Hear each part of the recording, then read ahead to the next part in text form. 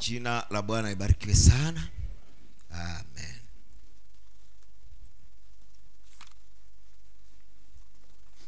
Kitabu cha Yuda moja mstari wa kumi na sita mmoja, mmoja tu, alafu tutarudi kitabu cha Mwanzo, tutasoma Mwanzo moja ishirini na sita Yuda moja kumi na sita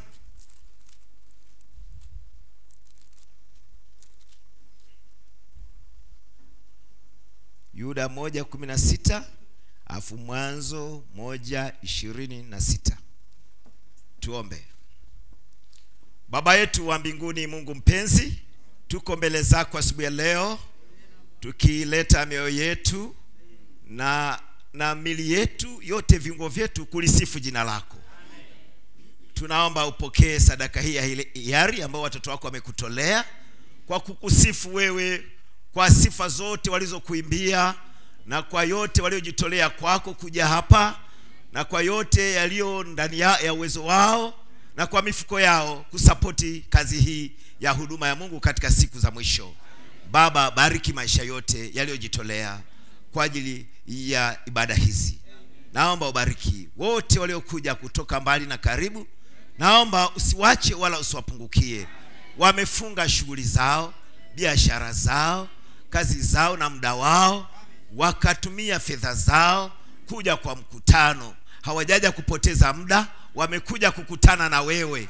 Basi Baba, mwondoe huyu mdhaifu mmoja kati ya wadhaifu ambaye ni mimi, mwondoe njiani, wewe ukasimame njiani, ukahudumie wageni wako. Mimi nitakuwa tu karibu ninapoona unawahudumia, na nitajisikia vizuri kuona unatukuzwa katikati yetu. Maana Baba, naamini kwamba kila mhudumu wa kweli huwa lengo lake na shauku yake kubwa ni kuona Mungu unatukuzwa. Nami nitafurahi nikiona unatukuzwa asubuhi ya leo.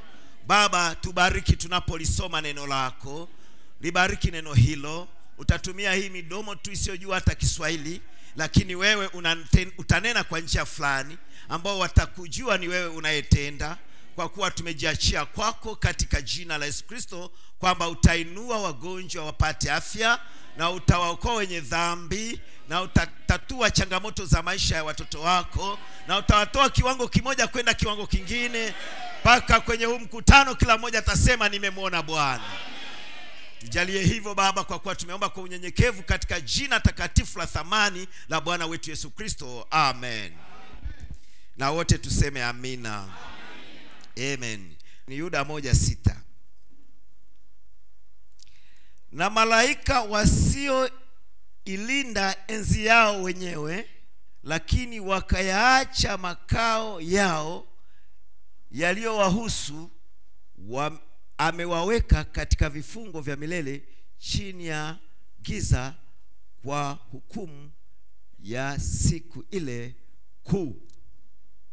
Sijui kwa Kiingereza, nataka muione e, hilo andiko muone jinsi lilivyo samani mara moja. Malaika wasiolinda enzi yao. Hebu tuisome kwa lugha nyingine muone inasemaje, ndugu yangu mkalimani.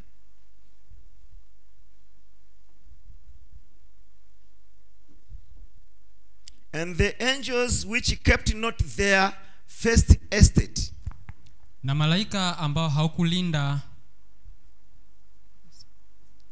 their first estate enzi yao ya Eh. kwanza enzi yao, himaya yao, kitengo chao, yote hayo. Jina la Bwana barikiwe sana, amen. Malaika ambao hakulinda enzi yao, Lak- anasema but left their own habitation, lakini wakaacha Habita- makazi Amen. yao wenyewe he has reserved in everlasting chains, amewaweka katika vifungo vya milele, vifungo vya milele. Under darkness. Chini ya giza. Unto the judgment of the great day. hadi ile hukumu ya siku kuu. Eh, kwa hiyo nitaka tu hapo mwone kwamba eh, malaika wana vitengo vyao, malaika wana enzi zao. Kumbe malaika wana sehemu zao walizopewa. Sasa kuna wengine hawakulinda hiyo sehemu yao, hawakuitunza. Turudi, turudi Mwanzo moja ishirini na sita mwanzo moja ishirini na sita mungu akasema na tufanye mtu kwa mfano wetu kwa sura yetu wakatawale samaki wa baharini na ndege wa angani na wanyama na nchi yote pia na kila chenye kutambaa kitambacho juu ya nchi. Bwana yesu aongeze baraka zake kwa kusoma kwa neno lake. Ketini wapendwa jina la bwana ibarikiwe sana. Mnampenda bwana yesu kristo? Kutoka kwenye hivyo vifungu viwili tunaweza kupata somo malaika wakuu na himaya zao. Malaika wakuu na himaya zao. Leo tunataka tujifunze leo tunataka tuende mbinguni. Tumehubiri sana duniani sasa leo tunaenda mbinguni. Lakini tukitoka mbinguni tena tutarudi hapa. Kwenye ibada hii hebu leo tu hebu- saa hizi tusafiri tu, tuone huko juu kukoje. Bwana yesu atujalie sana nabii anasema alihudhuria mkutano mmoja ule wa Pentecost ambao alikuwa anaona magari yameandikwa yesu pekee yesu pekee yesu pekee. Apoenda pale jioni hiyo mzee mmoja akachalaza injili. Kwanza akasema vijana walikuwa wanakuja wanapiga injili tu ya kawaida ya kawaida tu ya siku zote sasa baadaye mzee mmoja akapiga akaenda mbinguni kaja duniani akasema hapa hakuna nafasi ya kuhubiri. Na basi kama ingemfanya mzee namna hiyo vipi mimi niliye kijana? Bwana tujalie sana nami ni kijana. Kwa hiyo kama nilimfanya mzee namna ile mimi najua itanifanya zaidi. Mungu na anisaidie sana. Asubuhi ya leo hebu tupande twende mbinguni. Jina la bwana ibarikiwe sana. Mnampenda bwana yesu kristo? Amen. Kwa umbali wa ujumbe tulionao mpaka kufikia saizi bibi harusi hana hofu ya kupotea. Bibi harusi unapaswa utoe hofu ya kupotea. Amen kwa kuwa tumejifunza hivi kwamba mungu hanyang'anyani hanyang'anyani na shetani watu. Mungu hapambani na shetani kunyang'anya watu. Kwamba kuna watu shetani atamzidi mungu na mungu atapata wengine na wengine atashindwa. Aa, hatuko na wazo hilo. Hatuko na hiyo. Tuna ufunuo kamili ya kwamba kumbe haya yote ni makusudi ya mungu ni ratiba ya mungu. Hata kumumba shetani ni ratiba ya mungu hata anguko la edeni mungu alijua litakuwa hivyo. Kwa hakuna kichoenda kombo hata kimoja. Na yuko hapa mungu kutujulisha siri zake zile alizokusudia kabla kwa misingi ya dunia. Tunaambiwa hivi mungu aliishi hapo kwanza peke yake. Kabla hakujawa na tone la maji hakuna vumbi hakuna molekuli hakuna chochote chochote hakuna. Hiyo iliyokuwepo ilikuwa ni yeye alijaza nafasi yote alijaza majira yote. Hiyo ilikuwa ni yeye aliitwa ela ela elohim. Tuanze hapo ndugu. Abraham abraham's covenant confirmed. Kwenye ujumbe huu. Abraham's covenant confirmed. Uh, thibitisho la agano la ibrahim. Hmm. agano la ibrahimu lililothibitishwa. Aya ya 137 at the beginning hapo mwanzo he was el alikuwa el el ela. Ela. Elohim. Elo. The all self existence one. Yeye akae peke yake. In him ndani yake was attributes. kulikuwepo na sifa. To be a, to be a father. Kuwa baba. To be a savior. Kuwa to be a healer. Kuwa mo- and these mponyaji. things all na mambo haya yote on a display uh, uh, sorry. And these things on a display na haya yalionyeshwa tu for his attributes. Kwa sifa zake. Yalikuwa tu yanadhihirisha sifa zake. See unaona? Is what it is. Kile ilicho. Ndicho kile alicho. What is uh, sorry. That is what makes us. Hicho ndicho kinatufanya sisi. He he yeye first kwanza he created aliumba akaachia nabii akaachia. Well vema he wasn't god to begin with. Hakuwa mungu kwa kuanzia. Jina la bwana barikiwe sana. Because kwa sababu god is an object of worship. Mungu ni kitu cha kuabudiwa. So kwa hivyo he created angels. aliumba malaika. So he so he could be god. Ili kwamba aweze kuwa mungu. Jina la bwana barikiwe sana. Nampenda. kwa hiyo yeye ndiye alikuwa yeye pekee. Hana mwanzo hana mwisho. Yeye ndiye alikuwa yote. Naitwa milele kuu milele mkuu. Alikuwa anaitwa milele mkuu. Hakuna pa kuanzia hakuna pa kuishia. Lakini yeye alikuwa na sifa ndani yake. Na nataka hizo sifa zijifunue. Kukaa peke yake hivyo ilikuwa haina maana. Kudumu tu kuwa hivyo na abaki hivyo ingekuwa hata haina maana. Hata haina maana yeye kuwepo. Kwa hiyo ili aone umuhimu wa yeye kuwepo ilibidi afunue sifa zake. Amen. Na asingezifunua akibaki kwenye ukubwa huo. Maana angekuwa hakuna nafasi ya kutosha kujifunua mahali fulani. Ilibidi awe mahali fulani aache nafasi ya hali yote hiyo ili apate kujifunua. Na ili afanye hivyo amen. Amina. Ilibidi awe ni kitu cha kuabudiwa na kama ataabudiwa kwa sababu ndio sifa kuu aliyokuwa naipenda ni kuabudiwa ni asifiwe ni ajulikane ni, ni viumbe ni viumbe au ni kitu kingine kimtukuze yeye. Alitaka aonyeshe utukufu wake. Amen. Kwa ilibidi afanye jambo fulani. Ndipo tunaona kutoka era, era elohim akatokea logos ambaye ni mwana wa mungu. Amen. Mungu aka akatoa nuru. Na hiyo nuru ndio logos neno lake. Ikatoka mbele za milele kuu. Ikiwa ni mwanga. Ikiwa ina rangi ya kaharabu kama tulivyojifunza. Alafu hii milele kuu ikatumbukia ndani yake. Amen. Lakini hiyo nuru ilikuwa na mikono ila si kama hii. Ilikuwa na miguu ila si kama yangu ilikuwa na macho ila si kama haya. Ya kwake anaona kila mahali. Mkono wake unafika kila mahali. Lakini ilikuwa na umbile la mtu. Ile umbile la mtu. Na ile na yule mungu mkuu ela e, el, elohim aishie peke yake akatumbukia ndani yake. Kwa mungu akawa mtu. Mungu akawa ni, ni, ni, ni, ni utu ambao unatoka mahali kwenda mahali tuko pamoja. Kwa kitu cha kwanza alichofanya ili aitwe mungu. Na wakati anaumba hiyo nuru wakati anatokea hiyo nuru alitokeza nuru ikiwa ina ulinzi yenyewe. Amen. Ndio kiti cha enzi na maserafu wake na kadhalika. Lakini yote haya alikuwa anafanya ili aabudiwe ili ajulikane. Mnampenda bwana yesu kristo? Sasa mtaona kitu cha kwanza kile mungu alifanya ni ajabu sana.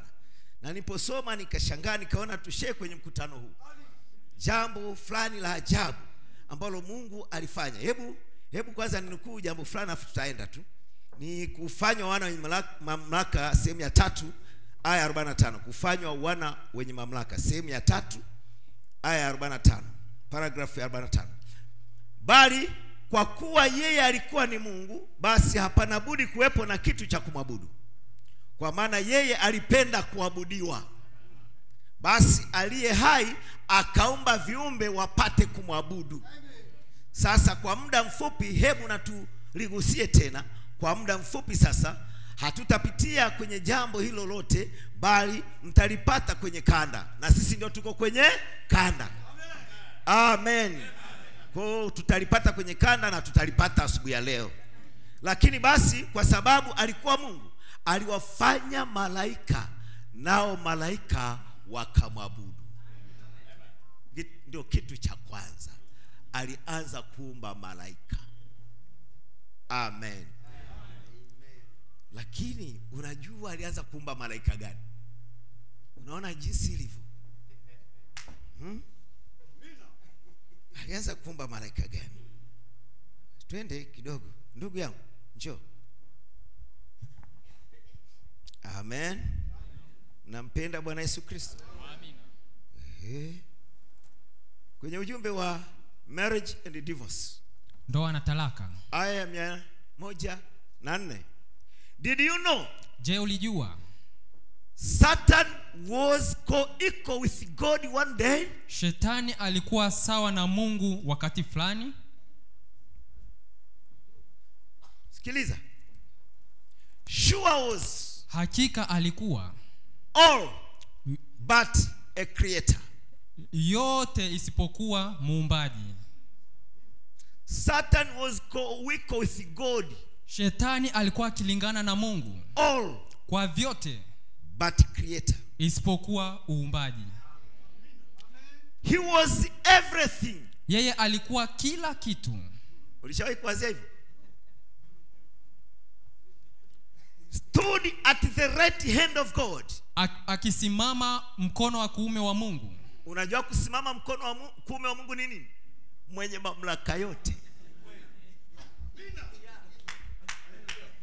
Eh? Ulishawahi kujua hiyo? Kwamba shetani alikuwa ni mwenye mamlaka yote mbinguni. Mungu akitaka kufanya chochote ende anafanya. Twende. In heaven kule mbinguni. Na tuko huku mbinguni. Tumeshaenda mbinguni. The great leading cherubim. Kerubi mkuu aongozaye. Ulishawahi kusikia hiyo? Shetani ni kerubi mkuu aongozaye. Hicho ndicho kiumbe cha kwanza mungu alikiumba ulishawahi kujua hivyo? Eh? ndicho kiumbe cha kwanza mungu kuumba ili kimtukuze mungu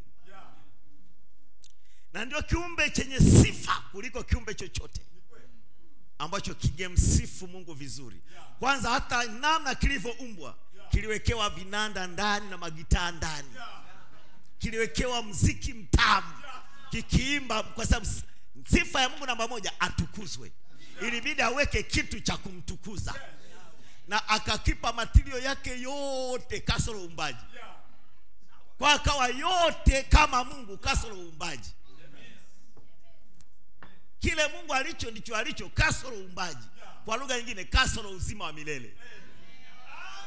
Jina la bwana barikiwe sana. Kwa sababu uzima wa milele ndio uumbaji. Kwao shetana na kila kitu kasoro uzima wa milele. Amen. Hiyo tu. Naona nguvu aliyonayo ni nguvu ya mungu iliyopotoka. Maana ni nguvu isiyo na uumbaji kwa nguvu yote aliyonayo ni ile mungu aliyonayo ila tu nguvu yake haina uzima wa milele. Nguvu yake ni ya kupotosha vile mungu ameumba. Amen. Oh tuko pamoja kanisa? Bibi harusi tuko pamoja? Mungu aliahidi kutufunulia mambo haya. Na haya tungeyapata yangeinua imani yangeumba imani ya kunyakuliwa. Ndio maana ya siri hizi. Bwana tujalie sana. Okay kwa huyu jamaa alikuwa jinsi hiyo. Hebu tumfuatilie tena huyu jamaa. Oh bwana tujalie sana. Mnampenda bwana yesu kristo? Kwenye ujumbe mwingine the, the seal of the antichrist. Muhuri wa mpinga kristo. Aya 17 paragraph ya 17 did you know je ulijua? that in heaven kwamba ndani yake Oh, hii- huu vizuri. Nafikiri ni mwangu did you know that in heaven unajua kwamba huko mbinguni uh-huh, that the devil was god's right hand man? kwamba shetani alikuwa ni mtu wa mkono wa mungu mkono wa mkono wa kuume. kuume wa mungu. In the beginning hapo mwanzo that lucifer kwamba lucifer the son of the morning mwana wa alfajiri was given power alipewa nguvu hivi huyu jamani wa kawaida huyu? Aliitwa mwana wa alfajiri. Huyu lucifer aliitwa mwana wa alfajiri. Ndio wa mapema kabisa kutoka mungu ni yeye. Unaona alivyo? Kule mbinguni alikuwa hivyo. The right hand the right hand man of Almighty, of all, almighty god was lucifer mtu wa mkono wa kuume wa mungu wa mwenyezi mungu. wa mwenyezi mungu alikuwa lucifer. The son of the morning. Mwana wa alfajiri. The first. Wa kwanza. Umeona? Ulishawahi kujua shetani alikuwa wa kwanza? Hatujawahi kujuaga hiyo. Kwamba shetani alikuwa wa kwanza. Mimi kwanza nimeamini message. Ndio wiki zilizopita ndio nimeipata kwa ajili ya mkutano huu bwana nianze kujisema Bwana nianze kusema chochote nikatunza kwa ajili ya mkutano huu. Wakati nahubiri sumanga nashangaa nataka kuisema. Nikasema oho na haribu haya nilishayapata kwa ajili ya mkutano. Bwana tujalie sana. Ni wakati najiandaa kuja mkutano huku bwana ananionyesha haya. Yalikuwa na maana. Ndio maana shetani amepinga sana. Ametuletea usumbufu sana kuweka huu mkutano. Alijua tutamfunua alijua mungu ataleta ufunuo huu na atafunuliwa vibaya sana na tukishamjua tutamnyanyasa sana. Naomba tu mungu akusaidie uniombee ndugu yangu ili mungu anisaidie niweze kulichukua ili nilitue kwako ili uweze kuliona jinsi lilivyo. Litakufanyia jambo fulani la kiungu utatoka hatua moja kwenda hatua nyingine kama tu ambavyo mimi limeshanifanya mimi hata nasimama hapa limenitoa hatua moja kwenda hatua nyingine. Amina. Sikiliza. Amen. The narudia hii. The right hand man of almighty, of almighty god was lucifer. Mtu wa mkono wa kuume wa mungu mwenyezi alikuwa lucifer. The son of the morning. Mwana wa alfajiri. The first. Wa kwanza. God granted him almost co-workers with him. Mungu alimuumba yeye karibu kabisa god kulingana na granted him. Granted him. Mungu alimjalia yeye kuwa sawa kabisa. Almost co-workers karibu kuwa sawa kabisa. with, with him. Na mungu pamoja naye. Alimjalia kabisa. Mshirika mwenza. mshirika mwenza karibu karibu kabisa na mungu. Yuko karibu kabisa nusura awe mungu kabisa unajua nabii aisha tukataza na maombi haya? Anasema usimwambie mungu mlete huyu jamaa nimbamize. Mlete huyu jamaa nimshinde. Anasema usijaribu kuomba maombi haya. Anasema mwambie mungu pambana naye huko huko. Pambana naye huko huko hata asinikaribie. Bwana tujalie sana. Sikiliza he was a co-worker. Alikuwa mtendakazi pamoja partly iko with him. Lakini patri, patri, eh. la, lakini kutokuwa sawa na yeye. Mm. ni, ni kasehemu kadogo tu ndo kanamfilisha nusura awe kama mungu. Only satan could not create. Shetani asingeweza kuumba tu. God is the only creator. Mungu ndiye muumbaji wa pekee. Jina la bwana barikiwe kwa hiyo hicho ndicho kitengo cha kwanza mungu aliumba. Ni kitengo cha ibada. Na alipomuumba lusifa aliumba na aina nyingine zote zinazofanana na lusifa malaika wenzake wadogo wote. Alikuwa kerubi afunikae kerubi aongozaye. Kwa kuwa na makerubi na wengine wote kumsifu bwana. Akiimba akiimba mbingu zinajaa utukufu. Tutaenda mbele tutaona mpaka mungu anamwambia alikuwa mkamilifu tangu kuumbwa. Alafu kazi ya mziki ilikuwa ndani yake. Na unaambiwa alikuwa akiimba sauti moja zinatoka sauti kumi na mbili. Huyu jamani si wa kawaida. Alikuwa akiimba zinatoka kumi na mbili na zina mziki mzuri. Mpaka leo hii mungu ukitaka ashuke piga mziki hata mambo yamekuwa magumu huingii rohoni. Mwite mpiga kinanda. Mungu anaishi kwenye mziki. Sasa kama anaishi kwenye mziki unafikaje jiumbia mziki wa namna gani? Na mziki mwenyewe hakuweka kwekota akamwekea akaweka ndani ya Lucifer. mziki ambao a- ukiimba mungu anafurahi. Mpaka mungu anarizika huyu jamaa hakuwa wa kawaida. Wazii ya mungu akamwekea kinanda hicho au akaweka mziki huo ndani ambao jamaa akiimba na malaika wengine mpaka mungu anasema hapo sawa. Ndo nilikuwa nataka hiyo. We wazie mpaka mpaka anaanza kuona hiyo sifa kumbe anaweza kamzidi hata mungu. Nafikiri mchezo? Mpaka akaanza kujisikia anaweza kawa mungu. Nafikiri kwa namna gani ilikuwa inajaa utukufu kila kitu kinazizima mbinguni. Kwa jinsi jamaa anavyoimba kwa jinsi anavyotoa nani ametengenezewa na mungu ndani yake. Na, na akifanya jambo mpaka kila mtu asema la hii ni yenyewe mpaka malaika wanasema hakika hii ni yenyewe. Kwa hiyo ndio kitengo namba moja. Estate namba moja ilikuwa ni estate ya kumwabudu mungu ambao Lucifer alikuwa ndio mkuu wake. Ndio alikuwa mkubwa kwenye hicho kitengo nitagawa vitengo vitano huko mbinguni utaviona. Vitengo vitano. Amen. Amina. Vya malaika. Malaika walitengwa kwenye vitengo vitano. Kwa hiyo lucifer ni namba moja. Ndipo twende moja kwa moja tusipoteze muda. Twende vitengo hivyo kimoja baada ya kingine. Lakini kabla tujaenda baada kimoja baada ya kingine ngoja nimseme lucifer sana hapa. Ili tukihama kidogo tuwe tumemdonoa vya kutosha amen. Sikiliza. Oh jina la bwana ibarikiwe sana. Amen amen.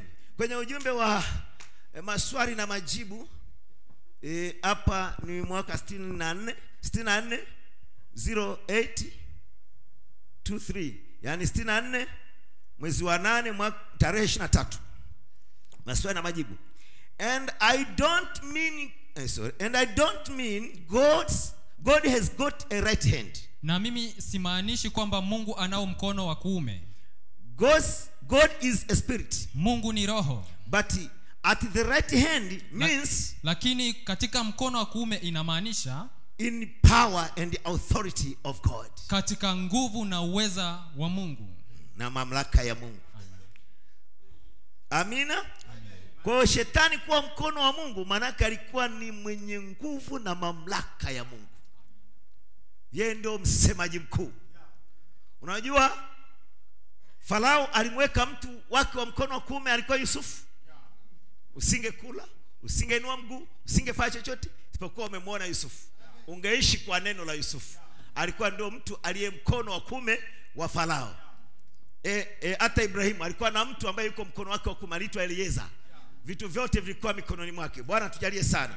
Kwa hiyo na huyu lucifer alikuwa ni mtu aliye kwenye mkono au malaika aliye kwenye mkono wa kume wa mungu.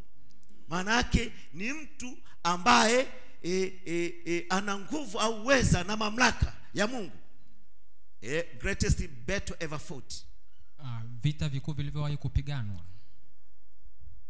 Every war every war kila vita, vita, every disorder kila mwanajeshi ama every askari, disorder, ah, ki, disorder kila kutokuwa na, na utaratibu everything no. that comes along kila kitu kinachokuja it is either controlled by the power by god's power or satan's power. ni aidha kinatawaliwa na nguvu za mungu ama nguvu za shetani.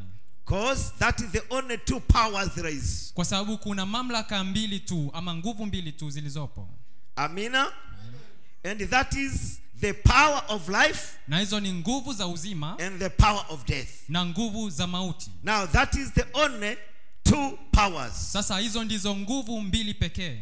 And satan na shetani can only anaweza tu his power nguvu zake he has got anazo alizonazo alizonazo is the perverted power of god. ni nguvu za mungu zilizopotoshwa it isn't no really power. Sio Nguvu halisi. it is a perversion of god's power. Ni kupotoshwa kwa nguvu za mungu. Everything that satan has kila kitu ambacho shetani alichonacho ni cha mungu kilichopotoshwa. Amina. Mnampenda bwana yesu kristo? Sasa usikie. Kwenye ujumbe wa uzao wa nyoka aya 97 basi ilimbidi aliye na nguvu zaidi amruhusu asiye na nguvu zaidi naye hufanya jambo hilo tu kwa ajili ya utukufu wake. Alipomfanya lusifa yeye alijua angekuwa ibilisi. Na alimfanya kwa sababu. Kwa hiyo ujue picha yote hii mungu hapambani na shetani. Ni yeye akiwa na shauku ya kujifunua yeye ni nani sasa ila ajifunue yeye nani inatakiwa kuwe na kikinzani upande ule kinachomkinza kabisa ila tu anakishinda kwa kitu kimoja uzima wa milele. Na akiweka nguvu ndogo kule itakuwa haina maana maana mungu hatajifunua wote. Yabidi aweke nguvu kinzani kabisa kasoro tu uzima wa milele. Ni nguvu kabisa kama ya mungu ila tu haina uzima wa milele. Kwa aliruhusu yeye mwenyewe nguvu iwepo hapo iliyo kinyume naye kabisa ila tu haina uzima wa milele. Ili hiyo imsaidie mungu kujifunua kile alicho. Amen. Kama ungetaka kujifunue ulivyo na akili sana kuliko viumbe vyote ingebidi upate mwanadamu mwenye akili sana kasoro tu unamzidi kimoja. Ili viumbe vingine vijue ulivyo na akili. Ungepambana na nyani bado usingefunua akili zako vizuri ungepambana na sijui na, na, na, na mbwa au na sokwe mtu bado usingefunua akili zako vizuri. Ilibidi upate kitu fulani ambacho karibu kiko sawa na wewe. Ili ufunue yote mpaka umpite kwenye ile moja. Wewe unaona? Yabidi ujue shetani alivyo. Kwao sio kitu cha ovyo shetani. Shetani ni nguvu halisi naye hutumia sehemu kubwa ya mambo ya mungu kasoro tu kimoja. Na uongo mkubwa uliowahi kunenwa duniani na shetani ni uongo uliotumia ukweli asilimia 99 ndio uongo mkubwa kuliko uongo wote. Ni uongo ambao umetumia ukweli asilimia 99 huo ndio uongo mkubwa kuliko uongo wote hapo mmenipata? Kama una noti halisi hela halisi ya tanzania inahitaji kuwa na noti inayofanana kabisa kasoro alama ndogo moja tu. Hiyo ndio noti ya bandia halisi. Lakini ungetengeneza chochote kile kinachofanana na noti na hakina sifa kabisa kumbali mbali na hata hicho akidanganyi na ukitoa tu hivi wataona hiki sio chenyewe. Lakini kile kinachodanganya kabisa nusura nusura kipotoshe hata uselewe ule kweli ni nini ni kile kinachofanana kabisa karibu na ile kweli. Na ile halisi. Bwana atujalie sana. Sasa hivyo ndivyo shetani alivyo. Ndio maana leo watu wanamwabudu bila kujua. Kwa sababu anatengeneza mambo utafikiri ni mungu kabisa. Alafu wanamwabudu pasipo kujua. Na alidanganya wote wakubwa kwa matajiri. Maskini kwa we, kwa matajiri waliowatumwa kwa, kwa watu huru na kadhalika na kadhalika. Isipokuwa walioandikwa majina kabla ya kuwekwa msingi ya dunia. Hao ndio hakuwadanganya. Sasa tuwe, waweza kujua ni sisi. Ni sisi ambao hatukudanganya ndio maana tuko hapa kumfunua kwa sababu tunamfahamu kwa hawezi, hawezi kutudanganya. Sisi tu ndo tunayomjua amina jina la bwana libarikiwe sana. Ah. sasa nataka nikwambie. Shetani ndio kiumbe mzuri kuliko viumbe vyote mungu aliviumba. Shetani ndio kiumbe mzuri na mwenye mvuto. Ni mzuri sana. Mpaka malaika wote walikuwa wanasema ah, huyu jamaa ameumbika hizi ah, huyu ni mwenyewe kabisa. Ana mvuto. Sauti yake mwonekano wake mpaka na mpaka mungu nilikumba ukiwa mkamilifu. We mpaka mungu aite kiumbe ni kikamilifu ni, ni mchezo. Asa mpaka uovu ulipoonekana ndani ni kule chini ndio kulikuwa na chembe ya uovu. Lakini ukimwangalia jamaa yuko vizuri. Nikusomee mahali ambapo nabaya sema shetani ni mzuri maswali na majibu. Ya sitini na nne mwezi wa nane tarehe ishiri na tatu. Tarehe ishiri na tatu mwezi wa nane sitini na nne. Aya mia moja sabini na mbili. Ndugu jo satan was the most powerful angel. Sorry. Samani samani. Satan was the most beautiful angel. Shetani alikuwa ndio malaika wa kupendeza zaidi not more beautiful most beautiful. Wa kupendeza kupita wote. kupita wote. Kupita wote malaika. Shetani alikuwa ni wa, wa kupendeza. He was the cherubim that overshadows Al, overshadowed. alikuwa ni kerubi afunikaye.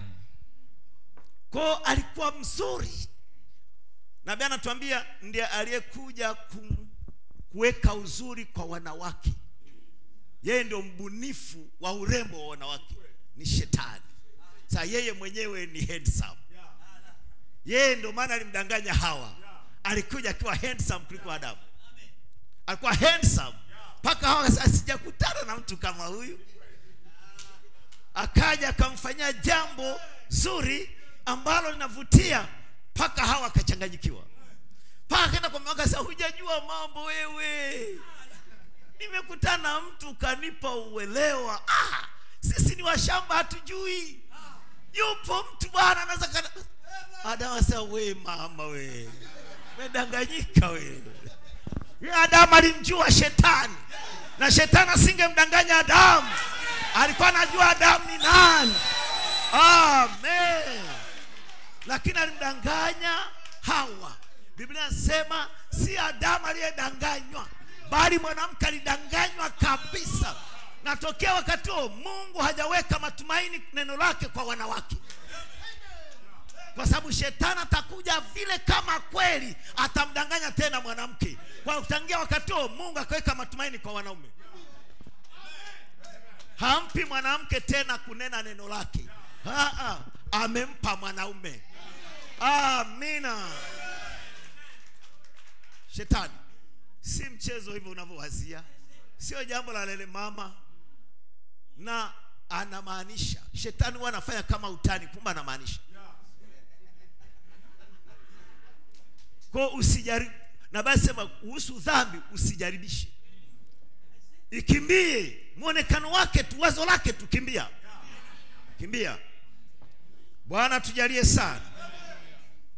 Shetani alikuwa mzuri someni pamoja nami ezekieli 28 13 tuko hapo? Oh jina la bwana barikiwe sana. Ah, mungu atusaidie. Hili jambo nilitue mioni mwenu kabisa. Mungu atusaidie sote. Alafu tukitoka hapa itakuwa limetupa hatua moja zaidi. Ezekieli 28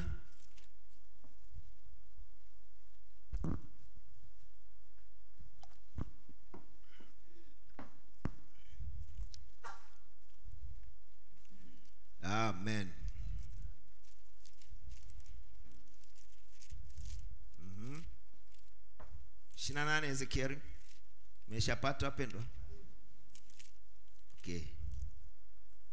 Shina na nane mstari ule wa kumi na tatu hadi kumi na tano.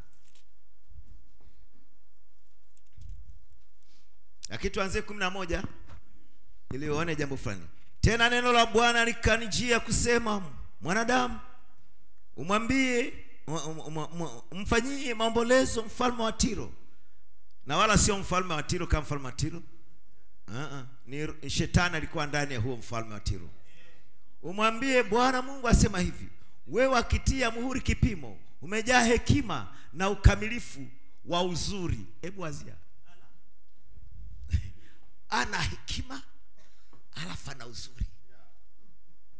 Shetani aweza kufanya jambo kwa hekima kabisa. Mpaka unaona ile kistaarabu lakini shetani yuko ndani. Twende mbele. Ulikuwa ndani ya edeni bustani ya mungu. Ulikuwa ndani ya adeni bustani ya mungu.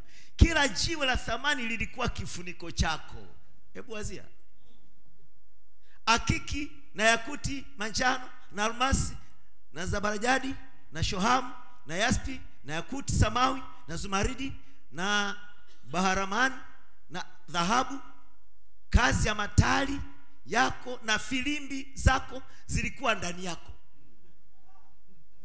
Katika siku za kuumbwa kwako zilitengenezwa tayari.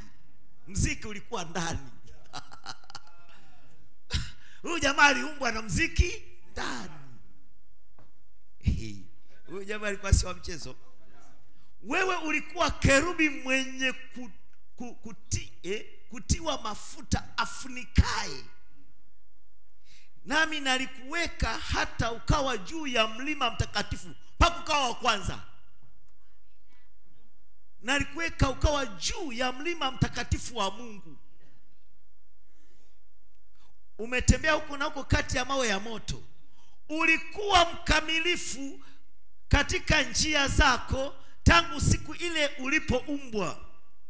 Alifanya kazi ya mungu vizuri huyu jamaa. Tangu siku ile alivyoumbwa. Alikuwa akitoa sifa mpaka mwasa hii sawa kabisa. Hata uovu ulipoonekana ndani yako. Lakini hapo nyuma alikuwa safi kabisa. Oh bwana tujalie sana mwampenda bwana yesu kristo.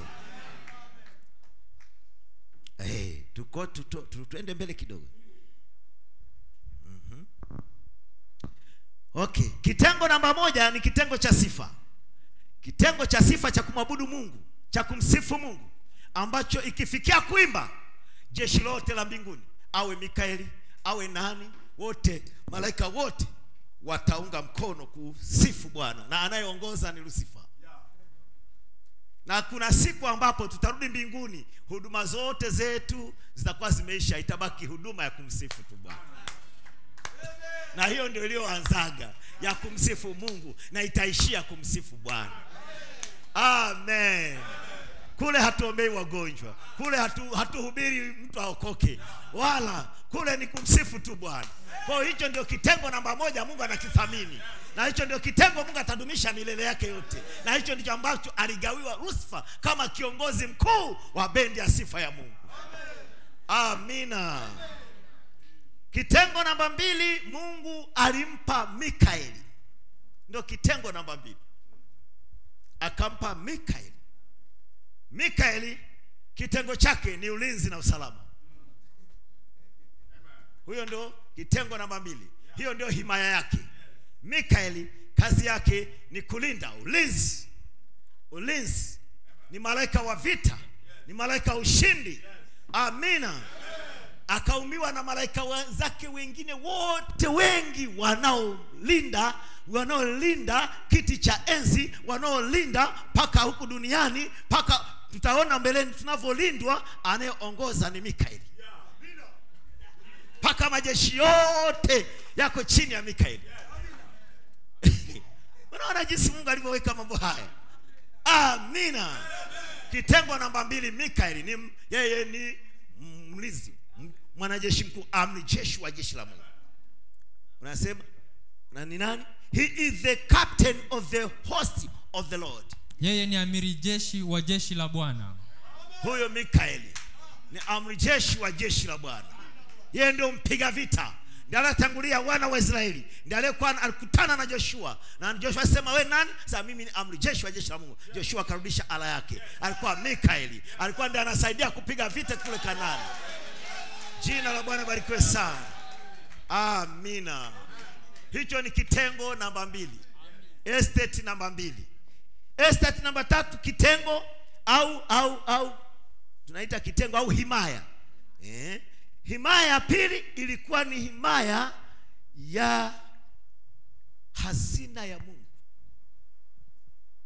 Hazina ya mungu. Huyu aliyepewa kitengo hiki anaitwa gabriel. Yeye ni mtunza hazina ya mungu. Yeye ndio hata ukiomba kitu kwa mungu anakupa anayekufungulia ni nani ni gabrieli ndiye anatoa kwenye hazina ya mungu anakuletea. Gabrieli ni mkuu wa hazina ya mungu. Ndiye anajua siri zote za mungu. Ndiye amepewa kitengo hicho. Yeye ndio mfunua siri ni mbeba ujumbe ni mleta habari njema. Gabrieli umwonapo gabriel akitokea duniani yeye huwa huwa anatuma magabrieli wake wadogo sisi wote tuna magabrieli wadogo. Tuna malaika wadogo. Lakini mkubwa akitokea ni jambo kuu linatokea duniani. Na kizazi hiki ametokea akimjia branham. Gabriel. Wengine wote tuna magabrieli wadogo malaika wadogo wanaotuletea siri. Haiwezi kulingana na gabriel. Unaona jinsi ilivyo kila kitengo ndani yake kuna kundi la watendakazi humo ndani lakini mkubwa wao anakuwa yuko hapo. Hicho ni kitengo namba mitatu. gabrieli ni mleta siri. Huyu gabrieli alipokuwa amechukua eh, hazina kutoka kwa mungu amletee danieli njiani akakutana na lusifa wakati huo lusifa tayari alishakuwa mwasi alishatupwa. Lusifa ule uone alivyo akamzuia siku ishiri na moja. Ni wa kawaida sasa wewe unacheza naye huyo mtu? Anamzuia hata malaika wa mbinguni aliyetumwa na mungu na ujumbe wa mungu. Siku ishiri na moja. Amemzuia hakuna kupeleka. Mikael akapata taarifa. Amen. Mikael akapata taarifa. Mikael huyo hapo. Akaja akampiga jamaa. Mikael malaika wa vita amjeshwa jeshi la bwana. Akampiga lusifa akamwondoa ndipo akamwachilia gabrieli gabriel akaenda kwa danieli. Wakati mwingine tungejibiwa zamani lakini lusifa anazuia njiani. Lakini mungu anamtuma mikaeli kusaidia. Yeye atazuia tu lakini atazuia atachelewesha tu lakini hawezi kuzuia kabisa. Atachelewesha tu. Hata gabrieli alipokuja kwa danieli akamwambia tangu ulipoanza maombi nilikuwa nimetumwa nilichukua hazina ya mungu kukuletea siri. Lakini nimekutana na mkuu wa wajemi. Sikiliza mkuu wa wajemi ambao ni shetani. Nimekutana naye njiani akanizuia. Siku ishiri na moja. Hasa lakini mikaeli akaja kanisaidia hasa na hivi nakupa siri narudi kwenda kumsaidia mikaeli. Narudi kwenda kumsaidia mikaeli. Tumpige jamaa. Haya mambo ni ajabu ndugu ni mambo ya ajabu sana. Ni mungu anatupenda wapendwa. Kutuletea hizi siri. Tujue hiki kitu ni kitu gani. Jina la bwana libarikiwe sana. Oh haleluya. Oh, kuna malaika wadogo na malaika wakubwa.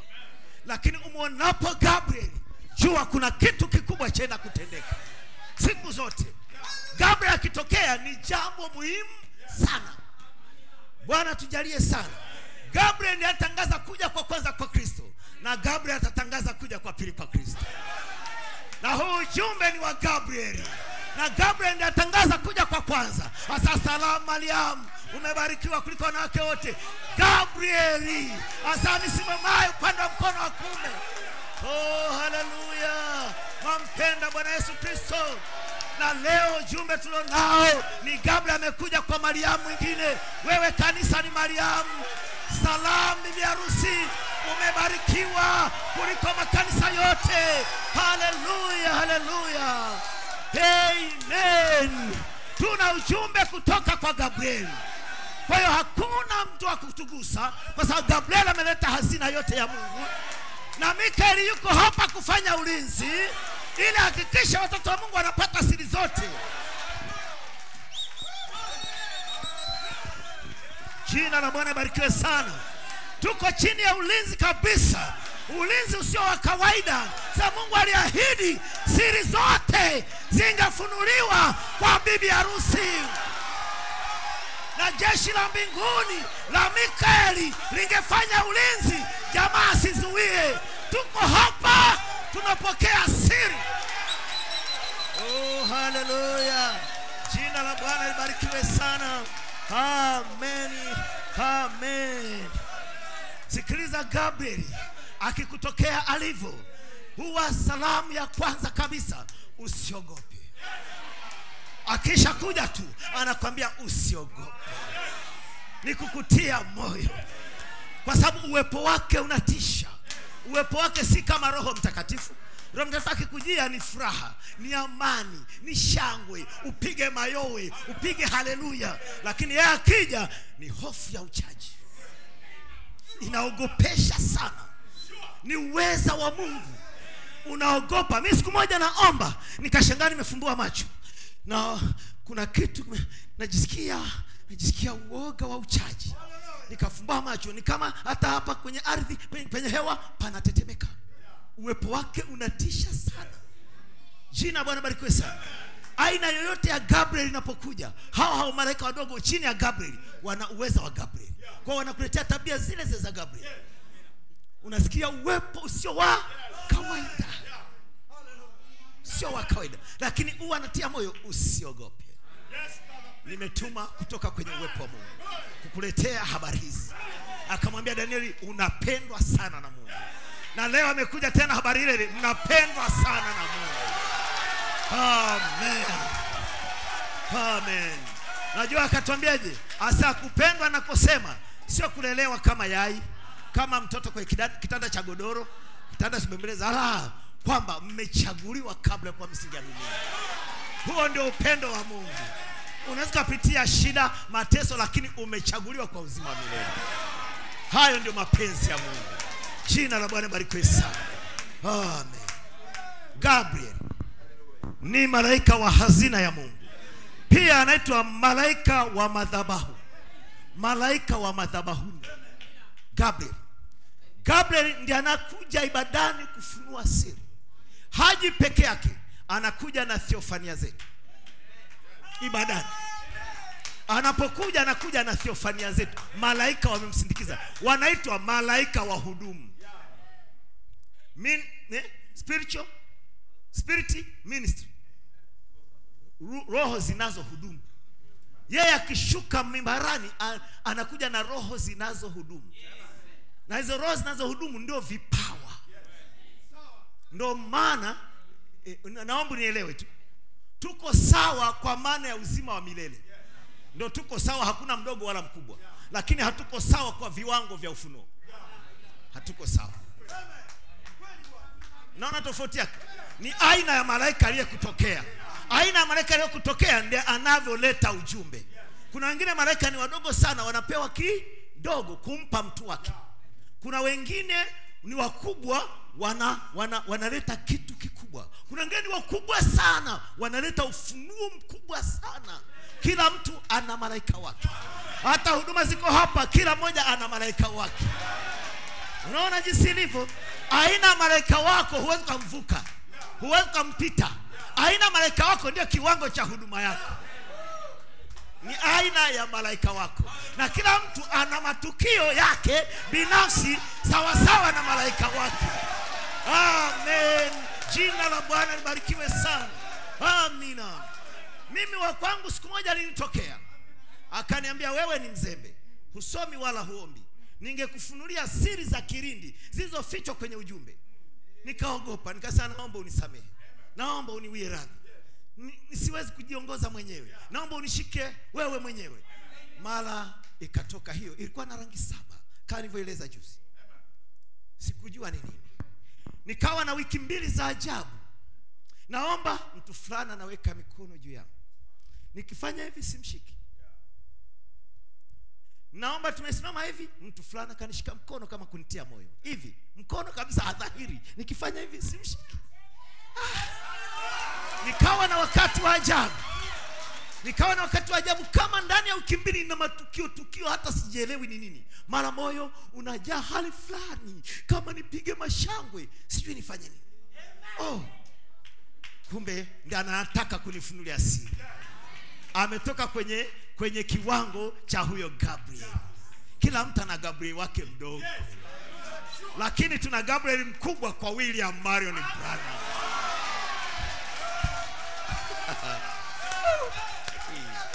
I see. Haya mambo ni ajabu, hatujawahi kuyawazia hapo kabla. Ni mambo ya ajabu sana, na huu mkutano Bwana alinipa hiyo kitu. Kwa hiyo kwa sababu hiyo naamini hivi, Mungu ameweka ulinzi hapa, lazima upate siri zako, la sivyo Mungu asingenipa hili jambo. Gabriel, kila mtu ana malaika wake.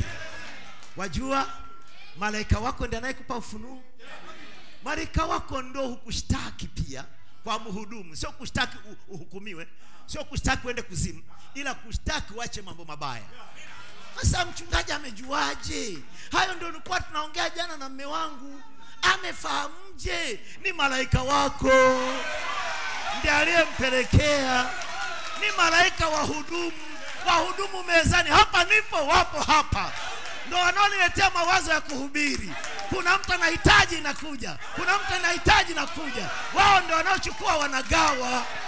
Amen. Mwampenda bwana yesu kristo. Hivi ndivyo anavyofanya. Gabriel mtunza hazina. Pia malaika wa madhabahuni. Amina. Mnampenda? Amen. Sasa nikwambie gabriel anaambatana pia. Unajua gabriel ni kerubi mikaeli ni kerubi. Ale, haleluya. Wote wana kiwango cha kerubi. Kerubi ni zaidi ya malaika. Ni cheo. Hao ni cheo. Kwa huyu gabriel anaambatana pamoja na wale mekerubi na maserafi. Wao ndo huchukua maombi ya watakatifu. Afu anafukiza mbele za mungu. Afu anafanyiza njia kwa ajili ya hayo maombi ili mungu asikie maserafi na makerubi. Makerubi ndio kutoka mungu makerubi ndio wamemzunguka mungu. Alafu maserafi wakafuata. Kwa hiyo maserafi na makerubi wako pamoja. Lakini waliotangulia mbele za mungu ni mikarubi. Kazi yao ni kupeleka maombi ya watakatifu kwa mungu. Ndio wanaotusaidia. Wao ndio kazi yao. Alafu yakikubarika mikael anachukua funguo anaenda kwa hazina ya mungu yale ambayo mungu alafu anachukua. Afu anawapa malaika zetu. Afu malaika zetu wanashuka nayo duniani. Kuja kukupa hitaji lako. Jina la bwana barikiwe sana. Ah, haya mambo ni ajabu sana. Ni ajabu. Sasa uone. Wakati gabriel anafunua neno mimbarani huwa hataki mchezo. Ukifanya mchezo na kuadhibu huwa anakuwa mkali sana anapoweka neno. Yeye ndio hutatua hunyosha makosa husaisha makosa. Neno lake ni perfect sana. Inapofikia kutenganisha uongo na kweli huwa anakuwa mkali sana. Anaweka ananyosha kweli hivi. Inapofikia hapo jina la bwana barikiwe sana. Amen. Yeye ndio hulifanya neno liwe dhahiri huliweka wazi kabisa kwa mteule. Humwonyesha kabisa hata anamwonyesha ma, mafunuo na maono na ukweli na usahihi wa neno. Gabriel ndio kazi yake. Bwana tujalie sana. Pamoja na malaika wenzake katika kitengo hicho. Kitengo namba tatu. Kitengo namba nne. Jina la bwana barikiwe sana. Kitengo namba nne ni malaika wa hasira ya mungu anaitwa pakanga. Huwa mnamsoma kwenye jumbe nafikiri. Nataka nikuonyeshe faida ya huduma. Huduma ndo itakuwekea mambo fulani. Hizi huduma tano sio pambo. Sio pambo. Huduma tano sio pambo. Mtu akikwambia unasikiza kanda tu A, inakuwa kinyume na neno. Ni kinyume na neno. Hizi huduma tano ni kwa ajili ya kukusaidia ili upate jambo. Kwa sababu nabii ameweka hapa na hapa na hapa na hapa. Na jumbe nyingine kule na nyingine kule. Haya nayo anena yote yako kwenye jumbe.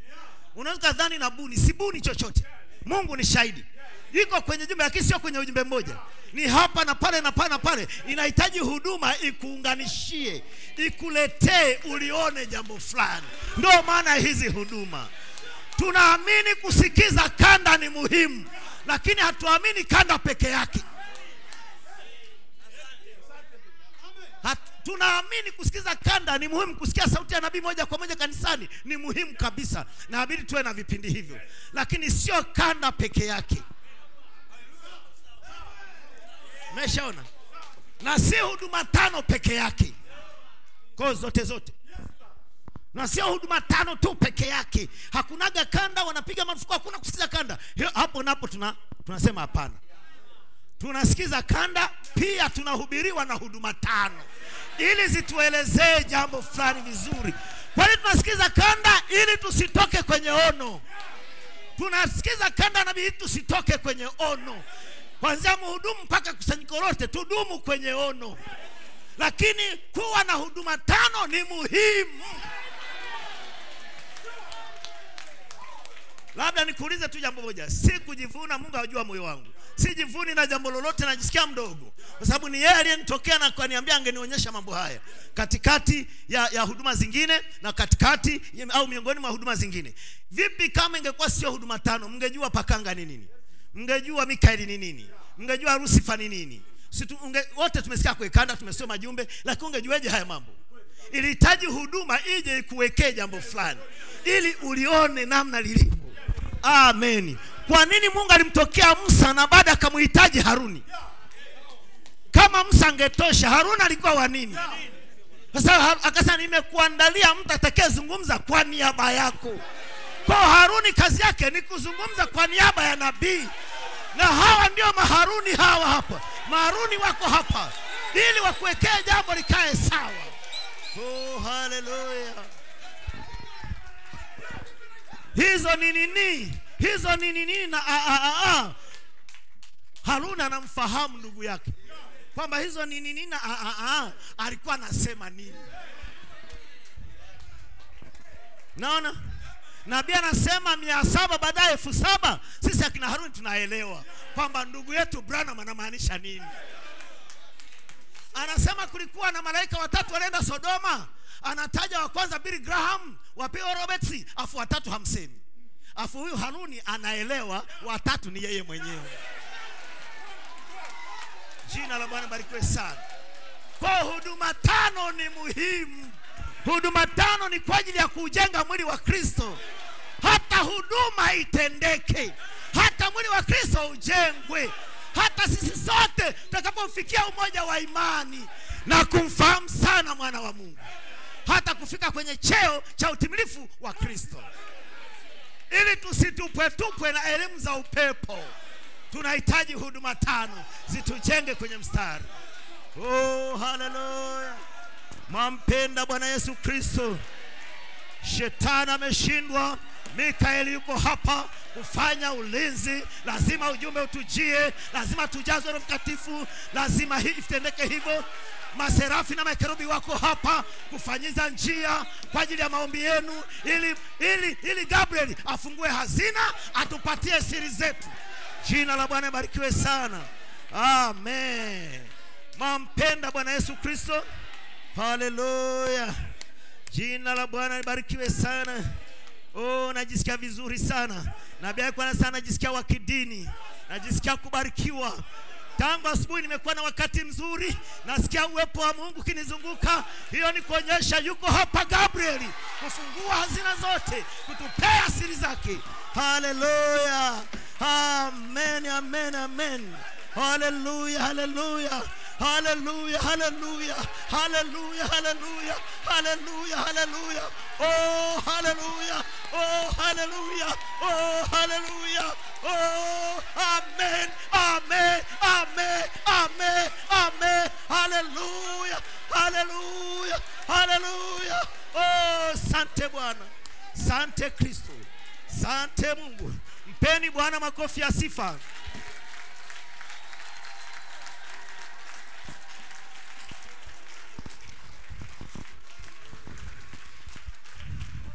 tuliumbiwa mambo haya. Tuko hapa kwa saa muhimu sana. Tusingetokea wakati mwingine ilibidi tutokee wakati huu. Na mungu yuko hapa kuhakikisha kabisa anafanya na kutimiza makusudi aliyokusudia kwa ajili ya maisha yetu. Kwa hiyo ndugu dada yeyote uliokuja kwa mkutano hapa tarajia kabisa mungu kukuhudumia. Na mungu yuko hapa kukuhudumia. Mkutano huu sio bure. Mungu atafanya jambo fulani. Amen oh haleluya sikilizeni jambo fulani. Kitengo namba nne. Mkuu wa kitengo hicho au mkuu wa himaya hiyo anaitwa malaika malaika pakanga. Kwa kiingereza anaitwa wood wumwood wood eh? Wom, wumwood wumwood lakini nabii alikuwa anasema alikuwa anasema wood wum, wumwood anasema yote mbili unaone faida ya huduma sasa. Yeye ametaja zote. Unasikia ni wudi wudi um, au umudi sasa nabii wako yeye lugha yake ndio hiyo. Kuna majina mengine alikuwa kutoka kwa biblia nabii anashindwa kuyasoma. Anawaambia jamaa aje amsomee alafu ni nabii wa kisasi. Mungu anaachaga iwe hivyo na ana sababu. Kwa huyu sasa mi nilikuwa nasoma malaika pakanga. Nikasema na bana sema kama biblia inavyoeleza. Biblia ishaeleza malaika pakanga wapi? Ikanisumbua. Sasa malaika pakanga kwa biblia ishamweleza wapi? Kumbe imemweleza. Ila kwa jicho la kawaida huwezi. Inahitaji gabriel aje akufungulie hiyo hazina. Na alimfungulia nabii kwamba hii ni nini? Tutaiona tutaiona. Yuko kwenye biblia. Pakanga. Oh jina la bwana barikiwe sana oh bwana tubariki sana. Kama mtaniwia niombe nisome hapa afu na bana msema anasa yuko kwenye biblia. Afu ndo tutaenda kwenye biblia tuona ametajwa wapi. Oh. ndugu njo kwenye ujumbe wa show us the father. Tuonyeshe baba. And it satisfies. Nayo itatutosheleza. Aya 60 kwenye ujumbe wa mwaka hamsini mwezi wa nane tarehe kumi na tisa. Nabii ameiweka kama igizo kama drama. Wakati sheda kabeneo na meshaki wako pale wamefungwa mikono na miguu watupiwe kwenye moto. Ndipo nabii anafanya kama drama kama igizo. Sema naona mbinguni malaika wanaanza kuhangaika mbele za mwenyezi mungu. Sasa umbaba umewaona kule chini? Kule chini umewaona watu waliotoa maisha yao? Wanataka wafe kwa ajili yako tutume. Ni basi malaika mmoja alianza kwenda mmoja baada ya mwingine. Mika akasema niache niende. Nikacharazi pale. Asa nimejua wewe Mika ni mwaminifu sana. Rudisha upanga wako alani Asa akakaa attention akatulia. Akaja pakanga akasema nitume mimi. Naenda kufungulia maji yote. Chemchemi anaitwa malaika mpasu wa miamba. Malaika wa maji ya uchungu. Ndiye aliyegarikisha dunia ya kwanza ni pakanga pakanga yeye kazi yake ni kufungua chemchem za chini na kufungua madirisha mbinguni. Afu anagarikisha maji. Anasema acha nibadilishe sura ya mambo babeli asubuhi ya leo. Acha nibadilishe. Unasema pakanga wewe ni mwaminifu sana. Najua ulishafanya hivyo na huu mwaminifu nikikutuma. Umenitendea mara nyingi namna hii ila safari tulia. Akawatuliza wote. Sasa baba nini? Anasema safari naenda mimi mwenyewe Asa Mungu aliita tu upepo wa mashariki, magharibi, kusini, kaskazini. Asa nibebeni. Asa pakavurugwa tu pale kama upepo kisulisuli ukashuka chini. Akashuka na feni ya mbinguni. Akaenda kuingia pale, akaanza kuwapepea kwa feni ya kimbinguni. Moto unawaka lakini wenyewe hawaungui. Oh, jina la Bwana barikiwe sana. Sasa nabii ameeleza jinsi hao malaika walikuwa wanamwendea Mungu wakiomba ruhusa waende wakafanye kituko pale kuwaokoa watoto wale. Hebu tuanzie aya ya- aya 60. Look, tazama coming to the left akija katika here comes another angel. hapa anakuja Look at him. mtazame. God has mistering spirits. Mungu anazo roho zihudumuzo angels. Malaika. I believe on this one light here now. Ninaamini katika huyu mmoja hapa sasa. Not far. Sio mbali. Akasema naamini katika mmoja huyu sasa sasa hivi ambaye yuko na kata wakati anahubiri. Sasa hata hayuko mbali ninaamini katika roho zihudumuzo pamoja na kujazwa roho mtakatifu bado kuna malaika wanaoongoza wanaofanya huduma. Bwana tujalie sana. And he stood. Naye alisimama. What is his name? Jina lake ni nani? Wumud. Pakanga. Bitter waters maji machungu i can hear him say ninaweza kumsikia yeye oh akisema master oh bwana have you looked down into babylon je umetazama huko chini babiloni let me go down there niache niende huko This chini morning, asubuhi ya leo You give me, you gave me the key ulinipatia funguo in the Antediluvian Katika-. Katika maangamizi ya Garika. I poured the waters nilimimina maji over the earth. juu ya dunia Hivi ungejua aliyemimina maji kwa dunia bila nabii ungejua ni pakanga. Jamani. Sinajua tu ah, Mungu akagarikisha hivyo tu. Mungu akagarikisha dunia ya kwanza. Lakini kumbe aliyetenda kazi hiyo ni kitengo cha malaika wa ghadhabu za Mungu. ikitokea ghadhabu ya mungu yupo malaika wa kitengo hicho kwamba safari hii tunafanya nini muda huu tunafanya nini kwao malaika wa kitengo hicho ni pakanga oh jina la bwana barikiwe sana. Kwa sema ulinipa funguo ulinipa funguo mungu nikagarikisha dunia ya kwanza. You know of? Unajua? Wood wood has it? Pakanga anao. Controls all the waters of the earth. Anatawala maji yote ya duniani. The bible says. Biblia inasema. Eh, eh. Ah. maji yote duniani anayamiliki anayatawala kuya control ni pakanga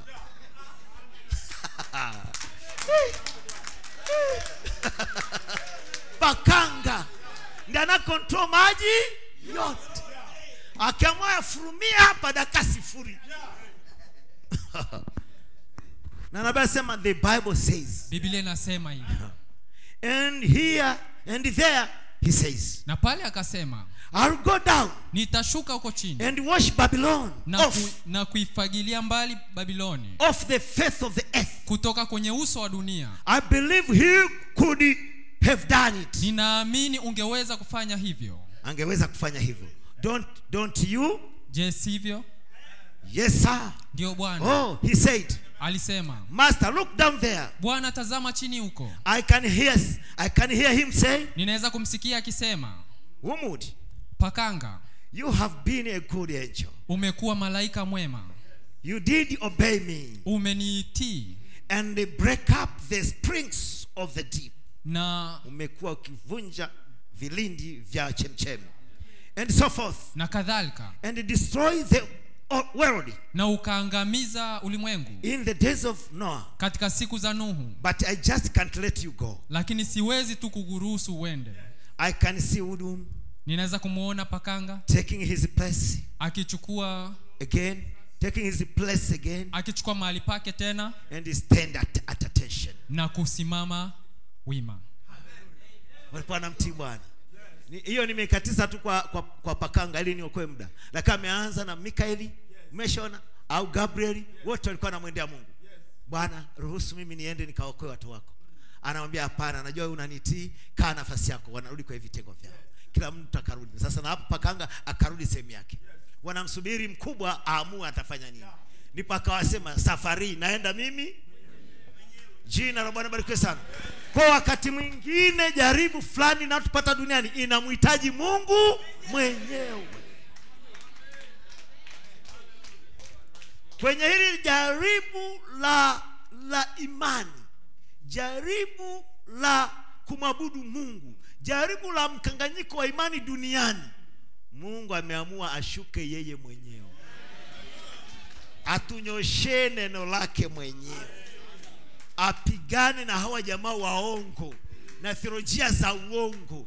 Amletee bibi harusi neno pure. Tuna jambo sahihi kabisa hata tusijione tulivyo wadogo jinsi tulivyo duni lakini tuna mungu mkuu aliyeamua kufunua siri zake kwetu. Amen. Bwana yesu awabariki sana. Kitengo hicho namba nne malaika wa ghadhabu za mungu. O, jina la bwana ibarikiwe sana. Amen. Tuje kitengo namba tano. Nimevigawa katika tano lakini utaviona mbele nitaongezea vingine viwili itakamilika saba. Bwana tujalie sana. Ila bado tuko mbinguni kwanza. Bwana yesu atubariki sana. Mwampenda bwana yesu kristo. Kitengo cha nne ni malaika wa mauti. Cha tano samani. Ki- kitengo au kiwango au himaya estate eh, yani enzi eh, ni, ni, ni, ni, ni hii ya tano mkubwa wake yeye ni malaika wa mauti. Hana jina nabii hajamtaja jina nani.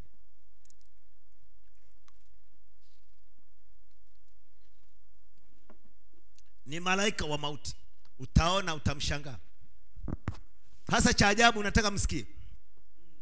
Malaika wa kwanza peke yake ndiye hana uzima wa milele. Wengine wote wana uzima wa milele malaika mikaeli ana uzima wa milele. Malaika gabriel ana uzima wa milele. Malaika pakanga ana uzima wa milele. Malaika wa mauti ana uzima wa milele. Malaika wa mauti sio mauti yeye. Ah, ah, ah. yeye sio mauti. Ila ni malaika wa mauti. Yuko kwenye kitengo cha mauti. Ifikia kumtoa mtu yeye anaenda. Waislamu wanamwita israeli waislamu wanamwita israeli. Huyu malaika wa mauti. Nitakuonyesha alivyo. Alienda kule kule misri. Akiwa na mbawa hizo nyeusi. Afu na naua afu soma biblia. Mungu asa nitapita usiku huu. Mungu asa nitapita usiku huu. Nitaua wazaliwa wote wa kwanza. Nitapita mimi mungu. Siri ni kabla sijaendelea kumtaja huyu malaika wa mauti nikuonyeshe siri ilivyo. Siri ni mungu ndio mikaeli mungu ndio gabrieli mungu ndio pakanga mungu ndio malaika wa mauti. Hii ni ajabu sana.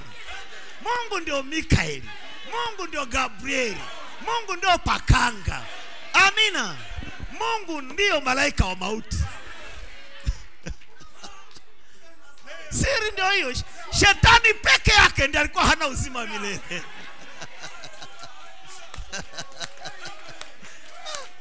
Ajabu. Ajabu sana. Oh jina la bwana barikiwe sana. Sasa napita usiku huu. Napita. Eh. kumbe ni yeye. Kwa nini lusifa alimwonea wivu mikaeli kwa sababu mungu alikuwa anamtumia. Anaona huyu jamaa vipi? Huyu mbwana nizidi huyu. Ye hakujua nadhani mwenzake. Kumbe ndio mungu yule anayeabudiwa pale. Huwa anachopoka na kuja anavaa mwili. Anajiita ni malaika mwingine. Hata alishawahi kushuka kwa ibrahimu akiwa watatu. Kumbe ni yeye mwenyewe alikuwa ndio mikaeli yeye mwenyewe alikuwa gabrieli yeye mwenyewe alikuwa ni mungu. Kwa ibrahimu mtu yule yule mmoja yule yule mmoja. Ah, waajabu waajabu sana waajabu anaweza kajigawa anavyotaka. Kwa hawa wote vitengo vyote hivi ni vya mungu. Hasone alipomfukuza shetani shetani hakuilinda himaya yake. Malaika wasiolinda himaya yao mungu anaweka kwenye kifungo cha giza kwa alimfukuza pala akamweka kwenye kifungo cha giza. Leo ni malaika wa gizani. Alafu kwenye kile kitengo cha mkono wa kuume akampa gabriel. Na mikaeli. Alafu akija mikaeli au gabriel anasimama mkono wa kuume wa mungu. Alafu ndio bwana yesu kristo. Mamlaka yote mbinguni na duniani nimepewa afu yesu ndiye anaitwa nyota ya asubuhi. Nyota ya asubuhi leo ni yesu. Sio rusifa tena. Yesu ndio nyota ya asubuhi. Mwana wa alfajiri. Yesu kristo nyota ya alfajiri. Mampenda yeye. Yeye ni wa ajabu sana. Jina la bwana libarikiwe sana. Amen. Oh, oh haleluya haleluya mungu ni mwema. Mungu ni mwema. Mimi namshukuru bwana. Alifanya agano na mimi kwenye huduma yangu ndogo. Nilisoma kwa nabii. Anasema mungu alifanya agano na mimi. Ukishaona upinde wa mvua ni kuonyesha mungu amefanya agano na wewe. Wakati amenitokea kwenye upinde sikujua manake ndio nimejua juzi wakati napata somo la e, nini? Agano la nini la, la upinde wa mvua. Ndo nikaelewa kwa nini amenitokea kwenye umbo la eh, pira, na, namaanisha nguzo nguzo eh? namaanisha rainbow. Amenitokea kwenye hizo rainbow kwenye upinde wa mvua mara hizi mbili. Awamu ya kwanza ni hiyo tu ilipita hivi. Ilikuwa haijazunguka. Awamu ya pili akaja akiwa amezungukwa na hiyo rangi saba. Alinitokea akinitazama hivi uso wenye huruma wa kunionea huruma wa ajabu mpaka niliogopa nikaficha uso wangu. Nilivyokuja kufumbua nikakuta ameshaondoka. Nikawa nimekaa tu nyumbani na tafakari mambo ya mungu. Mbele yangu nikaona wararara wararara wararara haitulii haitulii inafanya hivi. Afu inabadilika pale inabadilika ikatulia. Sura yake na nywele zake zimefika mbagani afu ananiangalia kwa huruma yake afu yuko ndani ya duara ya mviringo kumbe ni kukuonyesha uko chini ya agano nachoshukuru ni nini? Aliniambia ukiwa mwaminifu nitakwambia siri za kirindi. Ona haya tungeyafahamu wapi nimemkimbia miaka mitano mungu.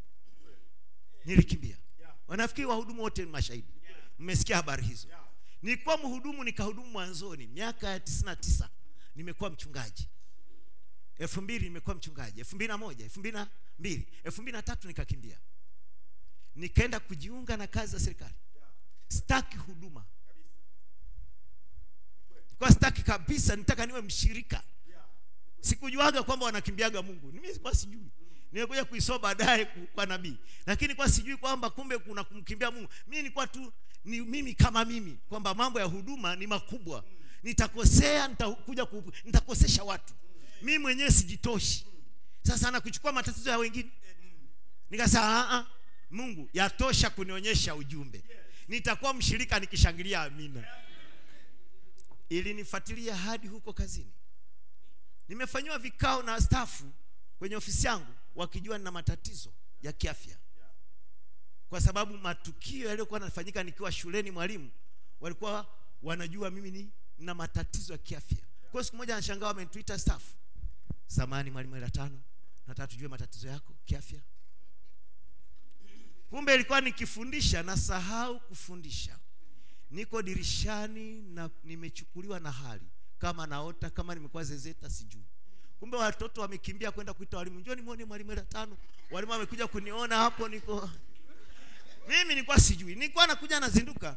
Naanza kufikiria niko wapi niko wapi niko wapi? Ndio nakumbuka niko darasani. Ulishawahi kulala usingiza afu ukaje na hivi niko wapi? Ndivyo ilikuwa naifanya afu nakumbuka niko darasani. Nilikuwa nafundisha nini?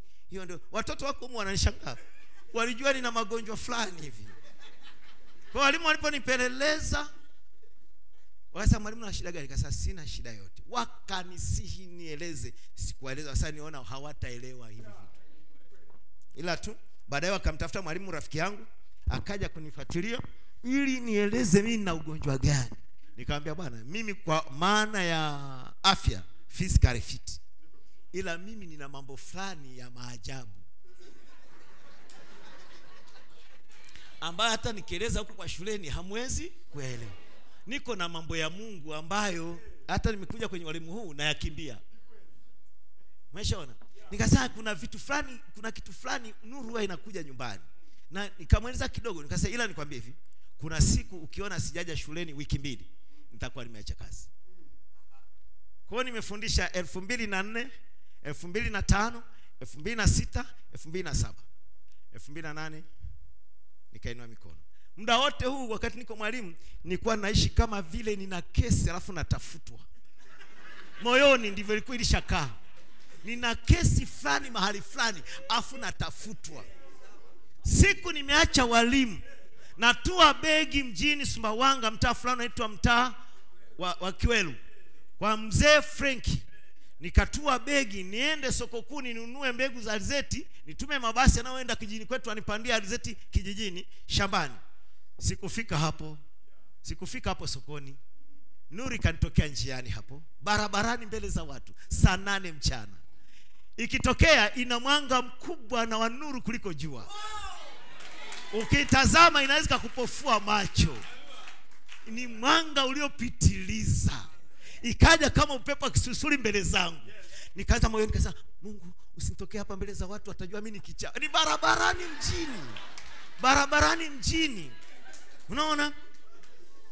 Nafika mahali fulani nakuta wandugu wa mjini wanazungumza neno la mungu mahali fulani wakanipa kiti. Ndio naelekea nilikuwa naelekea nikanunua mbegu za alizeti. Wakanipa kiti. Sasa oh kumbe alikuwa anazungumza na wapentekoste neno la mungu. Walivyoniona tu ah mchungaji huyo hapa wakanipa kiti nikakaa nilivyokaa nasikia nguvu mwili mzima mimi kana shanga kuna nini? Wakaleta biblia mbele yangu. Sasa bwana tunaongea hapa tume tumefikia mahali fulani. Hebu hawa watu wakuulize maswali. Walianza kuniuliza maswali. Kile niliongea mimi siku hiyo sikujua. Yaani saa nane kuja kushtuka fahamu zimenirudi saa kumi na mbili. Watu wana, wamefanya mkutano mjini mpaka barabarani kule na akiwemo huyu ndugu akiwemo huyu hapa. Huyu ndio alipataga neno siku. Kumbe nimehubiri bila kujua. Nimekuwa mwinjilisti bila kujua. Ndio nguzo ile ya moto inatokea ilikuwa inafanya maajabu hayo. Ndio tukaanza kubatiza kesho yake tunabatiza mmoja baada ya mwingine. Tangu wakati wa ufufuo sumbawanga mpaka leo. Mpaka leo. Mpaka leo. Mpaka leo kwa alivyosema angemfungulia siri huwa nikiona hivi nasema ah. alianza nami jinsi watu watakavyofufuka. Akaja kanionyesha majuma sabini ya danieli. Na nikaona nimepata kule kijijini huu ufunuo. Nisije nikajidai kujua chochote kumbe sijui chochote. Nikahubiri mbele za wazee wangu hawa ili kama sio kweli waniambie kwamba hapo hela tano sio. Hiyo unayosema ni mungu alikutokea hiyo ni mawazo yako ni maana nikahubiri hapo ili nijue kwamba ni mungu. Mzee akasema hiyo ni mungu kabisa. Sasa iliniunganishia mahesabu yenyewe ikanifanyia kila kitu. Mimi nimekuja tu kupata habari kwamba ndugu hela tano mungu akubariki. Kasa amina. Sasa hivi unasema mungu alikutokea akafunua majuma sabini kwenye kitabu cha nabii? Nikasa ndio. Hivi na ile michoro zile diagram zile ulizionaga wapi? Nikasema hapana sijawahi kuziona kokote niliona tu kwenye hilo hilo kitu alichokuwa ananionyesha. Sasa ndugu Bruet amekuja hapa Tanzania Dar es Salaam anafundisha majuma sabini ya Danieli ana michoro alishaenda Marekani akachukua kwa bili ambayo nabii alikuwa anafundishia. Inafanana na hiyo uliyochora. Unafikiri unajisikiaje ndugu? Mimi Sumbawanga nimeenda lini Marekani? Kwao ikanitia moyo kwamba kumbe sio mawenge yangu kumbe sio uchawi wa sumbawanga. Unajua niwaambie kwa unyenyekevu kabisa kuna watu wanaita huduma hii ni uchawi wa sumbawanga. Mimi sijanena chochote. Huwa nawalilia machozi. Kwa sababu sikujifanya. Sijawahi kujifanya wala kuigiza. La ni haya mambo na mimi naona yanatendeka hivyo. Basi unafikiri hayo mambo anahubiri watu wanaamka si nguvu anasema nini? Hizo si uchawi simaga nikasema basi huu ni uchawi mzuri uchawi unaomfanya kansa iondoke. Kanisani kwetu tuna watu wenye wenye kesi za kansa watatu. Hawana kansa leo.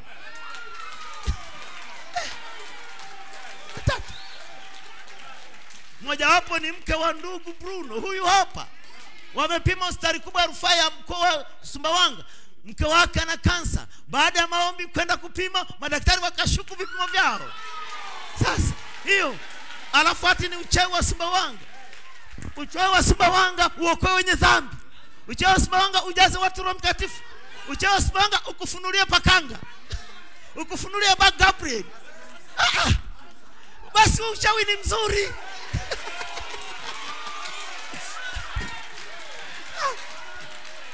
I see. Mimi nawahurumia hao wahudumu, nafikiri hawajawai kukutana naye. Mimi ndicho naweza kujua, hawajawahi kukutana naye. Ukikutana naye, nikwambie alivyo na sifa, kama amekutana na mimi na ndugu Chakonye, Mungu amekutana naye, tukikutana ni ndugu, alafu kitu fulani kinavutana, kinakubaliana, ndivyo alivyo yeye. Na ukuta mtu mwingine anakusukuma na anadai naye ni wa Mungu na anaichallenge hiyo ya Mungu, unaogopa. Sababu roho wa mungu hajikufuragi mwenyewe. Roho wa mungu anajiheshimu mwenyewe na anaheshimaga kitu kichoko ndani ya mwingine ambacho ni cha kwake.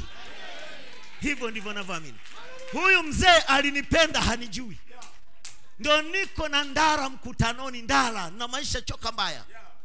Lakini mzee alinipenda hata alishasahau akaja huku moshi akatuma boksi ameandika kanisa la malolo wa sumbawanga hela tano. Na hajui hela tano ni nani. Alikuwa amepewa tu jina. Na akanipenda hajaniona Mwana mungu anavyounganishaga. Kwa hiyo mi nampenda mungu. Nampenda mungu napenda watu wa mungu. Amen. Kwa hiyo ni kuwaombea tu hawa wapendwa hawajui. Kwenye meseji hii tuna watu wa aina mbalimbali. Kabisa. Kuna watu ambao ni wahudumu halisi waliotumwa na mungu. Na kuna watu tu wamejiingiza wenyewe na wanajua wanachofanya wenyewe. Lakini kwambie mtumishi wa mungu atampenda mtumishi wa mungu. Kabisa.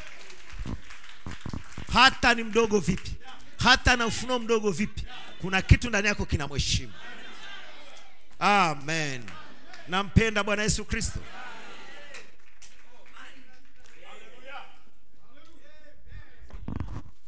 Amina. Twende mbele kidogo sasa tuje hapa. Malaika watano malaika wa mauti. Mkuta nani ujumbe ni makongamano. Ni, ni, shir, ni sitini na moja nne kumi. Makongamano. Aya ya mia mbili na sita. Makongamano. Conferences. Sitini na moja mwezi wa nne tarehe kumi kiswahili mia mbili na sita. Siku zote hutambulika, hutambulika mwishoni mwa safari. Hapo ndipo unapofanya kongamano lako na malaika wa mauti. Mwishoni mwa safari ndipo unafanya kongamano lako na malaika wa mauti. Yesu alifanya kongamano lake na malaika wa mauti. Pale Getsemani, safari yake ya mwisho. Akawa yuko pale, anarudi kwa mitume, hata amjaomba kwa saa moja, yuko pale. Na Bwana anasema alikuwa ameshuka Mikaeli, ameshuka Gabrieli, ameshuka Pakanga, wameshuka mareka wote na hata huyo mauti, alafu wanashuhudia anataka afanye maamuzi gani. Mungu akihojiana na Yesu je unachukua adhabu ya watu hawa mauti iko hapo. Unachukua adhabu ya watu hao. Yesu ilibidi afanye nini? Maamuzi. Sasa nikwambie malaika huyu wa mauti ni wa ajabu sana. Yeye wanafanya kazi mbili. Kwa mpagani na kwa mwaminio. Kwa mpagani huyu malaika wa mauti akija anamwonyesha mabaya yake yote na alivyokosa mbingu huwa analalamika akiwa kitandani hospitali. Anaonaga anaenda kubaya aliyemfunulia ni malaika wa mauti. Na anaona makosa yake anaanza kusema nitie nani? Ni, nilipie kitu fulani sijui nani usinisine wewe sijui usifanye nini. Unaona anatajataja vitu vyao vya ana- nafsi yake inakwenda sio kuzuri. Malaika wa mauti amemwonyesha. Kwamba sasa unaona ulivyo na unaona unakoelekea kwa, kwa nini nabii alikuwa anatamani sana kuwepo wakati mtu anakufa? Anasema nilikuwa nataka niona naenda wapi. Hasa na huwa inajulikana kabisa muda huo. Na basi ndio tamasha napenda kuliona. Hasa tamasha anayopenda kuona ni wakati mtu anaondoka. Nijue anaenda wapi. Na asema ninayopenda sana ni kuona mkristo anavyoondoka. Na sasa hiyo napendaga hivyo unajua nabii wakati mamaka anaondoka alisogea afu akaanza kumfanya kama mzaa sio mzaa. Akuwa anataka ajue mamaka anaelekea wapi. Yule dada yake branham hakujua akasema kwani namfanyia huyu mama? Sa wewe hujajua anachofanya. Hii ndio tamasha napendaga kuona. Lakini mimi kabla sijafika kwa maminio njoo huku kwa mpagani. Huwa anamwonyesha mpagani anakoenda mdhambi huyu anakwenda mpaka anaanza kuumia mwenyewe. Mara anyoshe mguu anataka kukimbia maana anakoenda ni kubaya. Sa mkamate wanafunga huku mguu na huku. Mwamini hawafungagi.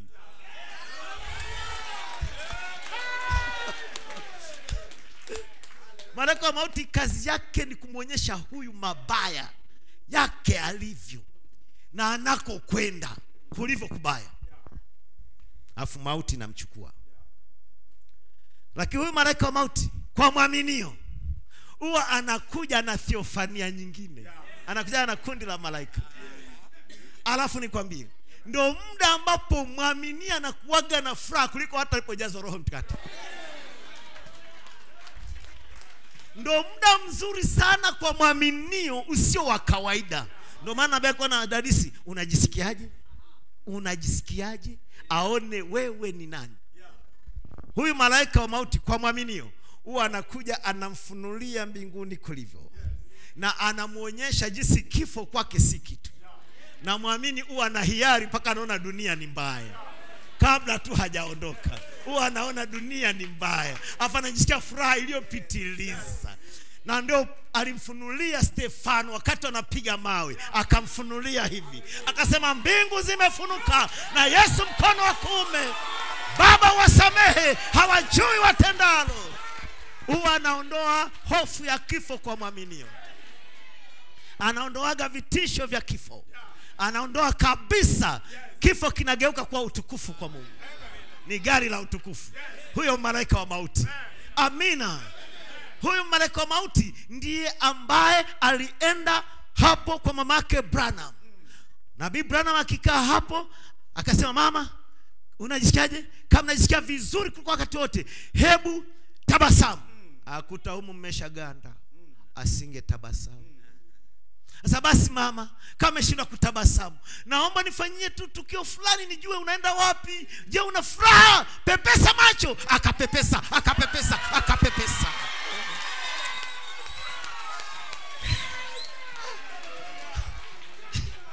Huyu malaika wa mauti ndiye aliyemwendea paulo wakati wametega kizimba cha kukata kichwa yeye akamfunulia. Akaona jinsi ambavyo mauti haina nguvu. Asa mauti uchungu wako uko wapi? Kaburi kushinda kwako uko wapi? Ashukuliwe tupae kushinda katika kristo yesu. Afu, alafu akatega. Akatega wakagawanyisha. Kifo hakina nguvu kwa mwaminio. Tamasha lingine ambalo nabii aliliona ni kwa bothweth mzee Bosworth, mzee wa kiroho ambaye nabii alimtegemea kwa ishara na maajabu. Mzee halisi aliyejazwa na roho wa mungu aliyekuwa namtetea nabii hata kipindi kile cha, cha mkutano ule kama nilivyoeleza jana huyu mzee alikuwa ni mtu special kwa, kwa branham. Wakati anaondoka wakamwita branham mzee wako hawezi. Naona yuko dakika za mwisho mzee. Alikuwa na umri wa miaka kama sabini na, na kidogo sabini kama siakosea sasa anaondoka. Amelala hapo. Nabii akafika. Saa mzee unaendeleaje? Asa niko vizuri. Asa kijana kama branham kijana chapa injili. Usiende mkono wa kume wala usijadiliana na hao watu. Wewe simama sawa sawa akamtia nguvu nabii. Akampa maneno ya mwisho. Alafu wakati amelala pale malaika wa mauti akawa amekuja. Alivyokuja akamfungulia bothweth akamwonyesha kundi la malaika lililokuja kumpokea.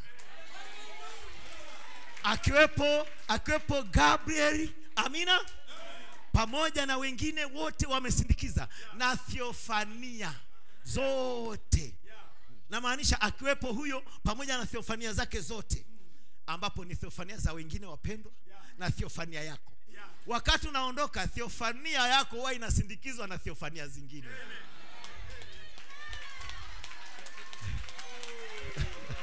huwa inasindikizwa nikuonyeshe. Thiofania ya bothweth ilivyokuwa inaenda ichukue mwili pale. Theofania za wapendwa waliolala katika bwana washirika wa bothweth waongofu wa bothweth wakasema tunakusindikiza ukachukue mtu wako. Wakashuka duniani. Lakini anayefunua hiyo ni nini? Ni malaika wa mauti. Yenda anaiweka hivyo. Bothweth akiwa nakufa pale walionaga mzee ameamka. Mtu anayekufa kamka asa bwana kubariki mama baba akaweza kusalimia babake. Alishakufa miaka mingi. Miaka arobaini iliyopita. Sasa baba uko vizuri. Okay mama. Bwana kubariki sana. Okay. Akaanza kusalimia washirika. Masaa haya. Masaa haya.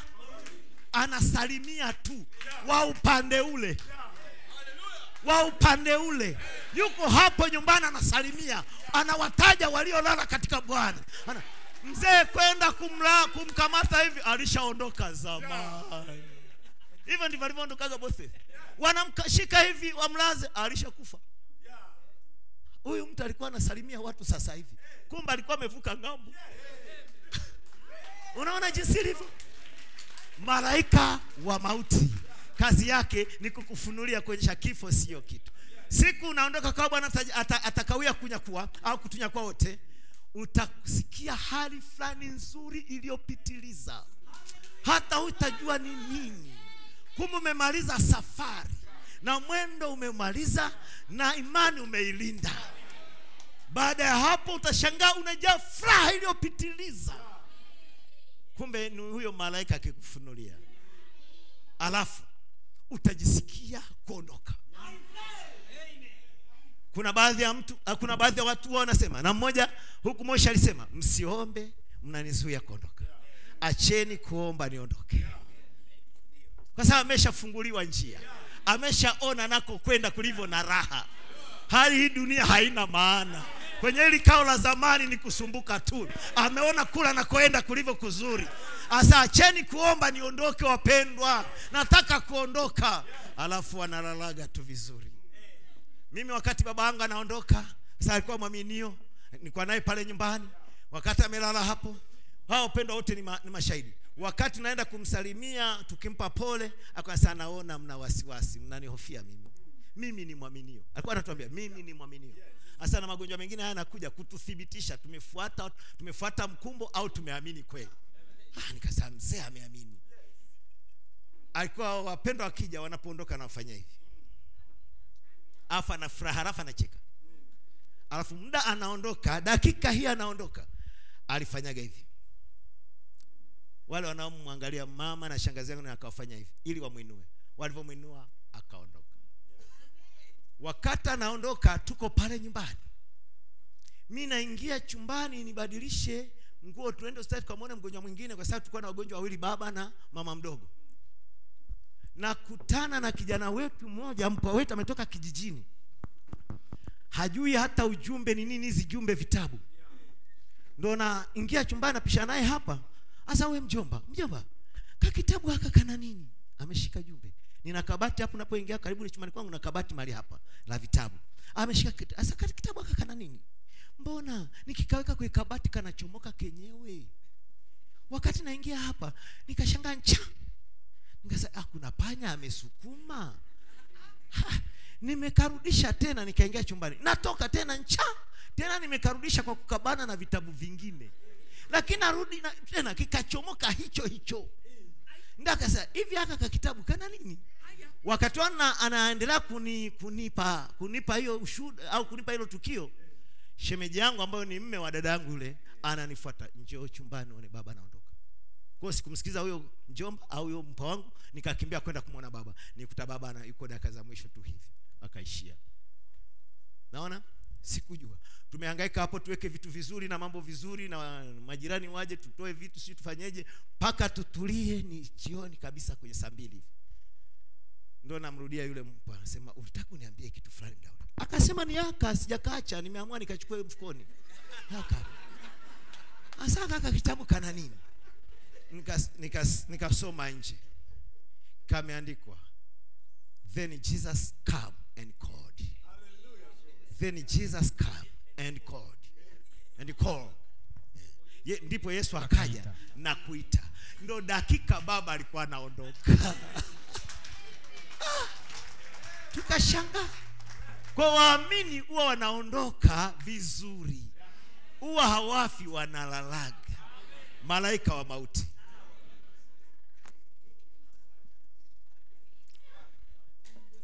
Moja ya siku hizi utakutana naye. Kama bwana atakawia. Naomba mungu akusaidie. Kwenye mkutano huu au amekufanyia jambo. Ya kwamba utakaa mkao mzuri wa ambapo hata ukifanya kongamano la mwisho uwe vizuri. Uwe vizuri. Ili thiofania yako ikupokee ikiwa imesindikizwa na thiofania zingine. Nabii anasema watakuwepo pale mtoni kukusubiri. Hao ndio wenyeji wako utakapokuwa unavuka huu wakati kuingia hapo utakuta sio fani yako watakuwa ndio wenyeji wako pamoja na malaika wengine. Bwana tujalie sana. Mnampenda? Ndipo nina vitengo vitano vya hao malaika. Muda wangu umeisha wapendwa. Huenda nikavuruga ratiba. Oh, sijajua. E, mnipe vizuri. Sije nikaharibu tena. Oh bwana bariki mnabarikiwa wapendwa. Amen. Sikiliza mungu tunarudi tena. Nilikuwa nimeshuka mpaka hapa kwa mwamini. Nilikuwa nimetoka mbinguni nimeshuka hadi kwa mwamini. Sasa nataka nirudi tena mbinguni. Tunarudi tena wakati rusifa yupo na wale malaika wote watano kila mmoja kitengo chake himaya yake. Mungu alipopata himaya zake alipopata hao watu himaya tano. Eh, Lucifer, mikaeli gabrieli pakanga na malaika wa mauti. Mungu akawaambia na tufanye mtu kwa mfano wetu. Huyo naye ni aina ya malaika lakini si malaika ila ana mwili wa kimalaika. Huyo ni mwanadamu. Akamuumbia mwili wa kimalaika. Theofania inayofanana na akina gabrieli na akina mikaeli na kadhalika. Kwao akawa ni mtu wa sita naye akampa himaya yake. Wewe bwana sisi tutakaa huku juu. Wewe utakaa kule chini. Amina. Wewe utatawala vitu vyote huko chini. Nakupa vyote vitambaavyo virukavyo na kadhalika. Wewe kule ndiye nawe ni malaika wa kuongoza hivyo vitu. Wewe ndio kiongozi wao kwa adam akapewa hii himaya. Umeshaona? Na adam yeye alikuwa ni sehemu ya mungu. Mtoto wa mungu. Yeye mungu mdogo. Kumbe akawa ni mkubwa kuliko malaika wote. Yeye akashuka duniani na malaika wote walikuwa wanamsalimia. Wanamheshimu. Mwana wa mungu. Akiongea yeye ndio sauti yake ilikuwa inasikika kabla malaika wengine wote kabla malaika gabriel na yani na nani na nani na Lucifer na nani yeye adamu akiongea kwa mungu anasikia. Na uone pamoja na sifa zote mbinguni mungu akipokea alikuwa lazima ashuke jioni akaongee na mtoto wake. Haikutosha tu sifa za mbinguni lazima ashuke kila jioni akafanya ushirika na mtoto wake. Kumbe ushirika wetu na mungu ni zaidi ya malaika. Ni zaidi ya malaika. Mungu anapenda ushirika na watu wake. Sasa nilishangaa kwenye ujumbe wa melkizedek huyu ni nani? Wakati nasoma huenda hapa nis- nisijaiandaa lakini imekuja hapa wakati nahubiri. Nakuta ipata tu wahudumu wanayo hapa. Wak- wakati nasoma ile sentensi nikashangaa. Naweza kusoma hapa nikasema nikaitafuta mara moja nikaisoma hapa. Kama ndugu utaitafuta hata moze anasema mungu aliishi peke yake pamoja na mekarubi mungu aliishi peke yake pamoja na mekarubi yaani akiwa na mekarubi alikuwa peke yake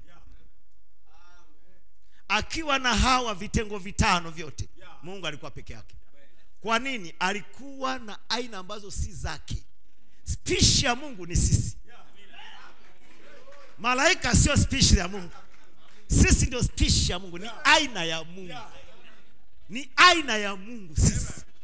Kwa akiwa na wale mekarubi alikuwa peke hivi mimi niwe na nyani na ng'ombe na kadhalika afu niko hapo chumbani peke niko pe, pamoja na hao wanyama na nini? Tuko wangapi?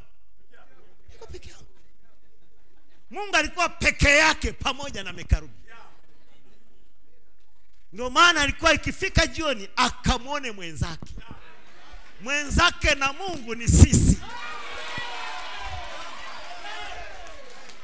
Na mungu anapenda ushirika kwa hiyo ushirika uliowahi kuwa wa maana kwa mungu ni kati ya mungu na mwanadamu. Sio kati ya mungu na malaika. Ha? huo ushirika hautoshi kwa mungu. We uwe na mbwa ufuge hata ukimwita pop pop pop njoo. Huyo hapa anaku wao anaku wao sio sokwe mtu sijui nini. Bado huwezi kufanya nao ushirika. Utahitaji mwanadamu mwenzako na kama naishi mahali fulani polini huku umejichimbia huko hujui wanadamu wengine wako wapi hata hujawahi kujuaga wapo.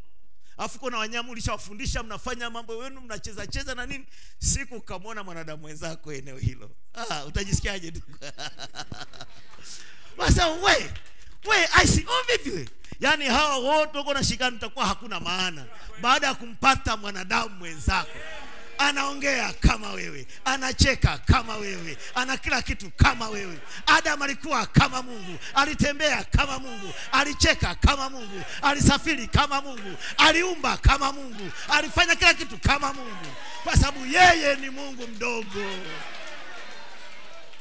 Angeweza kuita majina alivipa vitu majina angehamisha milima angehamisha mabonde angefanya chochote alikuwa anaweza kafanya chochote kama mungu. Amen sasa huyu jamaa rusifa alipoasi kule. Akashushwa hapa. Akaja akaamua mpindue adamu. Na akampindua kupitia mke wake. Ndiko akapata upenyo. Na akafanya ujanja. Akampa maarifa na hekima na ujuzi. Afu yeye akaichukua akachukua ile hali ya adamu ya kutawala dunia awe nayo. Yenyewe ni takatifu ikamponyoka. Ikamrudia mungu ile mamlaka aliyokuwa na adamu ile hali ya kiungu aliyokuwa anatawalia dunia hiyo hali ya kujua kila kitu popote kujua kila jambo na kupata ufunuo yote hiyo ilikuwa adamu anaye aliishi ndani yake na ilikuwa iko ndani ilikuwa ndani yake kukontrol dunia. Sasa shetani akataka aipate kwa kumpa kumbadilishia na nini? Na hekima za dunia na maarifa ya dunia na ujuzi na kadhalika. Sasa ilivyotaka ilivyokuwa inatoka kwa adamu shetani aipate ikamchoropoka. Ana mikono michafu shetani. Yenyewe ni takatifu sana. Ndipo ikamrudia mungu. Ndipo mungu akaifunga na mihuri saba. Akaiweka hapo. Hati miliki ya kumilikia dunia. Amen. Mamlaka ya kumilikia dunia. Yakafungwa na mihuri saba kwa hiyo shetani akabaka anaendesha dunia kwa ujanja wake na kwa mambo yake ya, ki, ya kishetani. Kwa mpaka leo tuna edeni ya shetani. Amekuwa akiipotosha na kuipotosha. Mpaka leo tuko ndani ya edeni ya shetani. Lakini mwenye mali ni adamu aliyepoteza. Kwa mungu akaamua amkombolee adamu. Na njia ya kumkombolea mwanadamu sheria za mungu zililala pale anayekomboa mwenzake awe wa jamii hiyo. Sifa namba moja. Sifa namba mbili awe hana hatia. Sifa namba tatu awe na uwezo kulipia gharama. Alafu sifa namba nne atangaze hadharani. Asinunue asikomboe kimya kimya. Atangaze hadharani. Sa mungu akaona mwanadamu yuko kwenye mwili wanyama na damu alishaanguka. Siofania yake ilishamponyoka. Yeye yuko mbali na hali za kiungu. Mungu alichofanya akajiondoa umungu. Akaona umungu si kitu cha kushikamana nacho. Akashuka chini akawa mdogo punde kuliko malaika. Akaenda kuwa mwanadamu. Akawa jamii yetu. Ndo tukampata yesu kristo mungu aliyefanyika mwanadamu akapita njia ile akalia kama sisi akateseka kama sisi kila kitu akaonja hali zetu ndipo akatimiza masharti ya mungu. Bwana tujalie sana. Akiwa jamii yetu sasa alikuwa na uwezo wa kutukomboa. Ndipo akalipa gharama kwa sababu alikuwa hana hatia. Na hata yeye mwenyewe akatangaza nani awezaye kunihukumu na dhambi? Na kuzaliwa na mwanamke nimezaliwa kama nyinyi mlivyozaliwa sasa nani anaweza kanihukumu na dhambi? Kwanza ni wa jamii yetu. Mbili hana hatia. Hata mhukumu wake pilato anasema hana hatia. Yesu akawa hapo. Hana hatia. Halafu ikaja sasa. Kwa kuwa ni jamii yetu na hana hatia alikuwa na uwezo wa kutukomboa. Ana uzima wa milele. Amina akatununua kwa uhai wake ambao ni gharama kuliko uhai tulionao unaokufa akatununua pale Kalvari, akalipa hiyo gharama na akaitangaza hadharani. Alining'inia hadharani, akatoka duniani, akaning'inizwa hapa katikati, akawa kati ya mbingu na nchi, ndipo akatangaza hadharani, imekwisha. Aposema imekwisha, maanake mali yote aliyopoteza Adamu nimesharudisha kila kitu na hali yote aliyopoteza nimemrudishia. Amen. Baada ya kufanya hivyo, basi abidi aende kwa mmiliki halali Mungu ambaye ndio mwenye mali yote, ambaye ndiye ana hati miliki. Akafika akaanza kuidai chini ya madhabahu, akimdai moja baada ya mwingine, akimdai moja baada ya mwingine, alivyowadai wote mpaka akafikia Branham, maana ndio wa mwisho. Amekuwa akikomboa kuanzia Paulo na watu wake, Irenaeus na watu wake, amen, St Martin na watu wake, Korumba na watu wake, rusa na watu wake, Weze na watu wake, akafika wa mwisho nabii Branham, Branham na watu wake. Apofika akakomboa jina hilo la mwisho, akawa amemaliza, akainuka, akaomba ile hatimiliki, akaipata kwake miliki mu ambaye ni Mungu, akampatia. Kwamba mimi ndio yule ya jamaa wa karibu. Mimi ndio niliyeshinda nipate kuwanunua watoto wa Mungu na kadha kadha. Sasa ninadai hii kitu niwarudishie wenyewe. Kwa Mungu akampa, sio kwa ajili yake, bali kwa ajili ya wale ambao ni yao. Ndipo alipompa huyo, akaja kwa Branham, akampatia Branham, akasema watangazie. Kwa Branham akaanza kusema akasema kitu cha kwanza, hamna dhambi, hamna dhambi. Amen. Ninyi ni wana wenye mamlaka, ninyi ni watoto wa Mungu, ninyi ni wateule, mnarudishiwa haki zenu. Uponyaji ni haki yenu, uzima ni haki yenu, baraka ni haki yenu. Haleluya! Unapaswa uwe na furaha. Amen. Tuko kipindi cha Yohana sura ya tano ya Ufunuo, alipoambiwa usilie Yohana, usilie, yupo simba wa kabila la Yuda aliyeshinda apate kununulia Mungu kila kabila, kila lugha, kila jamaa. Na huyu ujumbe umekuja, kila kabila, kila jamaa, kila lugha, umetawanyika kote, makabila yote, jamii yote, wanadamu wote. Yohana anasema baada ya kusikia hivyo akaona watu wanatupa taji zao wale wazee ishirini na nne. Wanamsifu Mungu. Yeye sasa ndiye akapaza sauti, mbingu zikamsikia, dunia ikamsikia. Na vilivyoko chini ya dunia. Huu ni wakati wa kupiga kelele, huu ni wakati wa kufurahi, huu ni wakati wa kufurahi. Haya mambo, amen, tumerudishiwa. Hati miliki iko hapa. Iko hapa haki yetu kwa hiyo tunaweza kumsomea shetani notice. Kwa sababu tuna notice za kumsomea. Na kumwambia achia. Huna haki yoyote. Wewe ni mporaji. Wewe ni muongo. Wewe ni jambazi. Huna haki yoyote. Achilia afya yangu. Achilia watoto wangu. Achilia mme wangu. Achilia mke wangu. Una haki. Ujumbe wa saa ni ujumbe wenye mamlaka. Unapaswa uishi ndugu. Dada ukiwa ni mwana mwenye mamlaka usiogope chochote. Mungu ameturejeshea. Bwana awabariki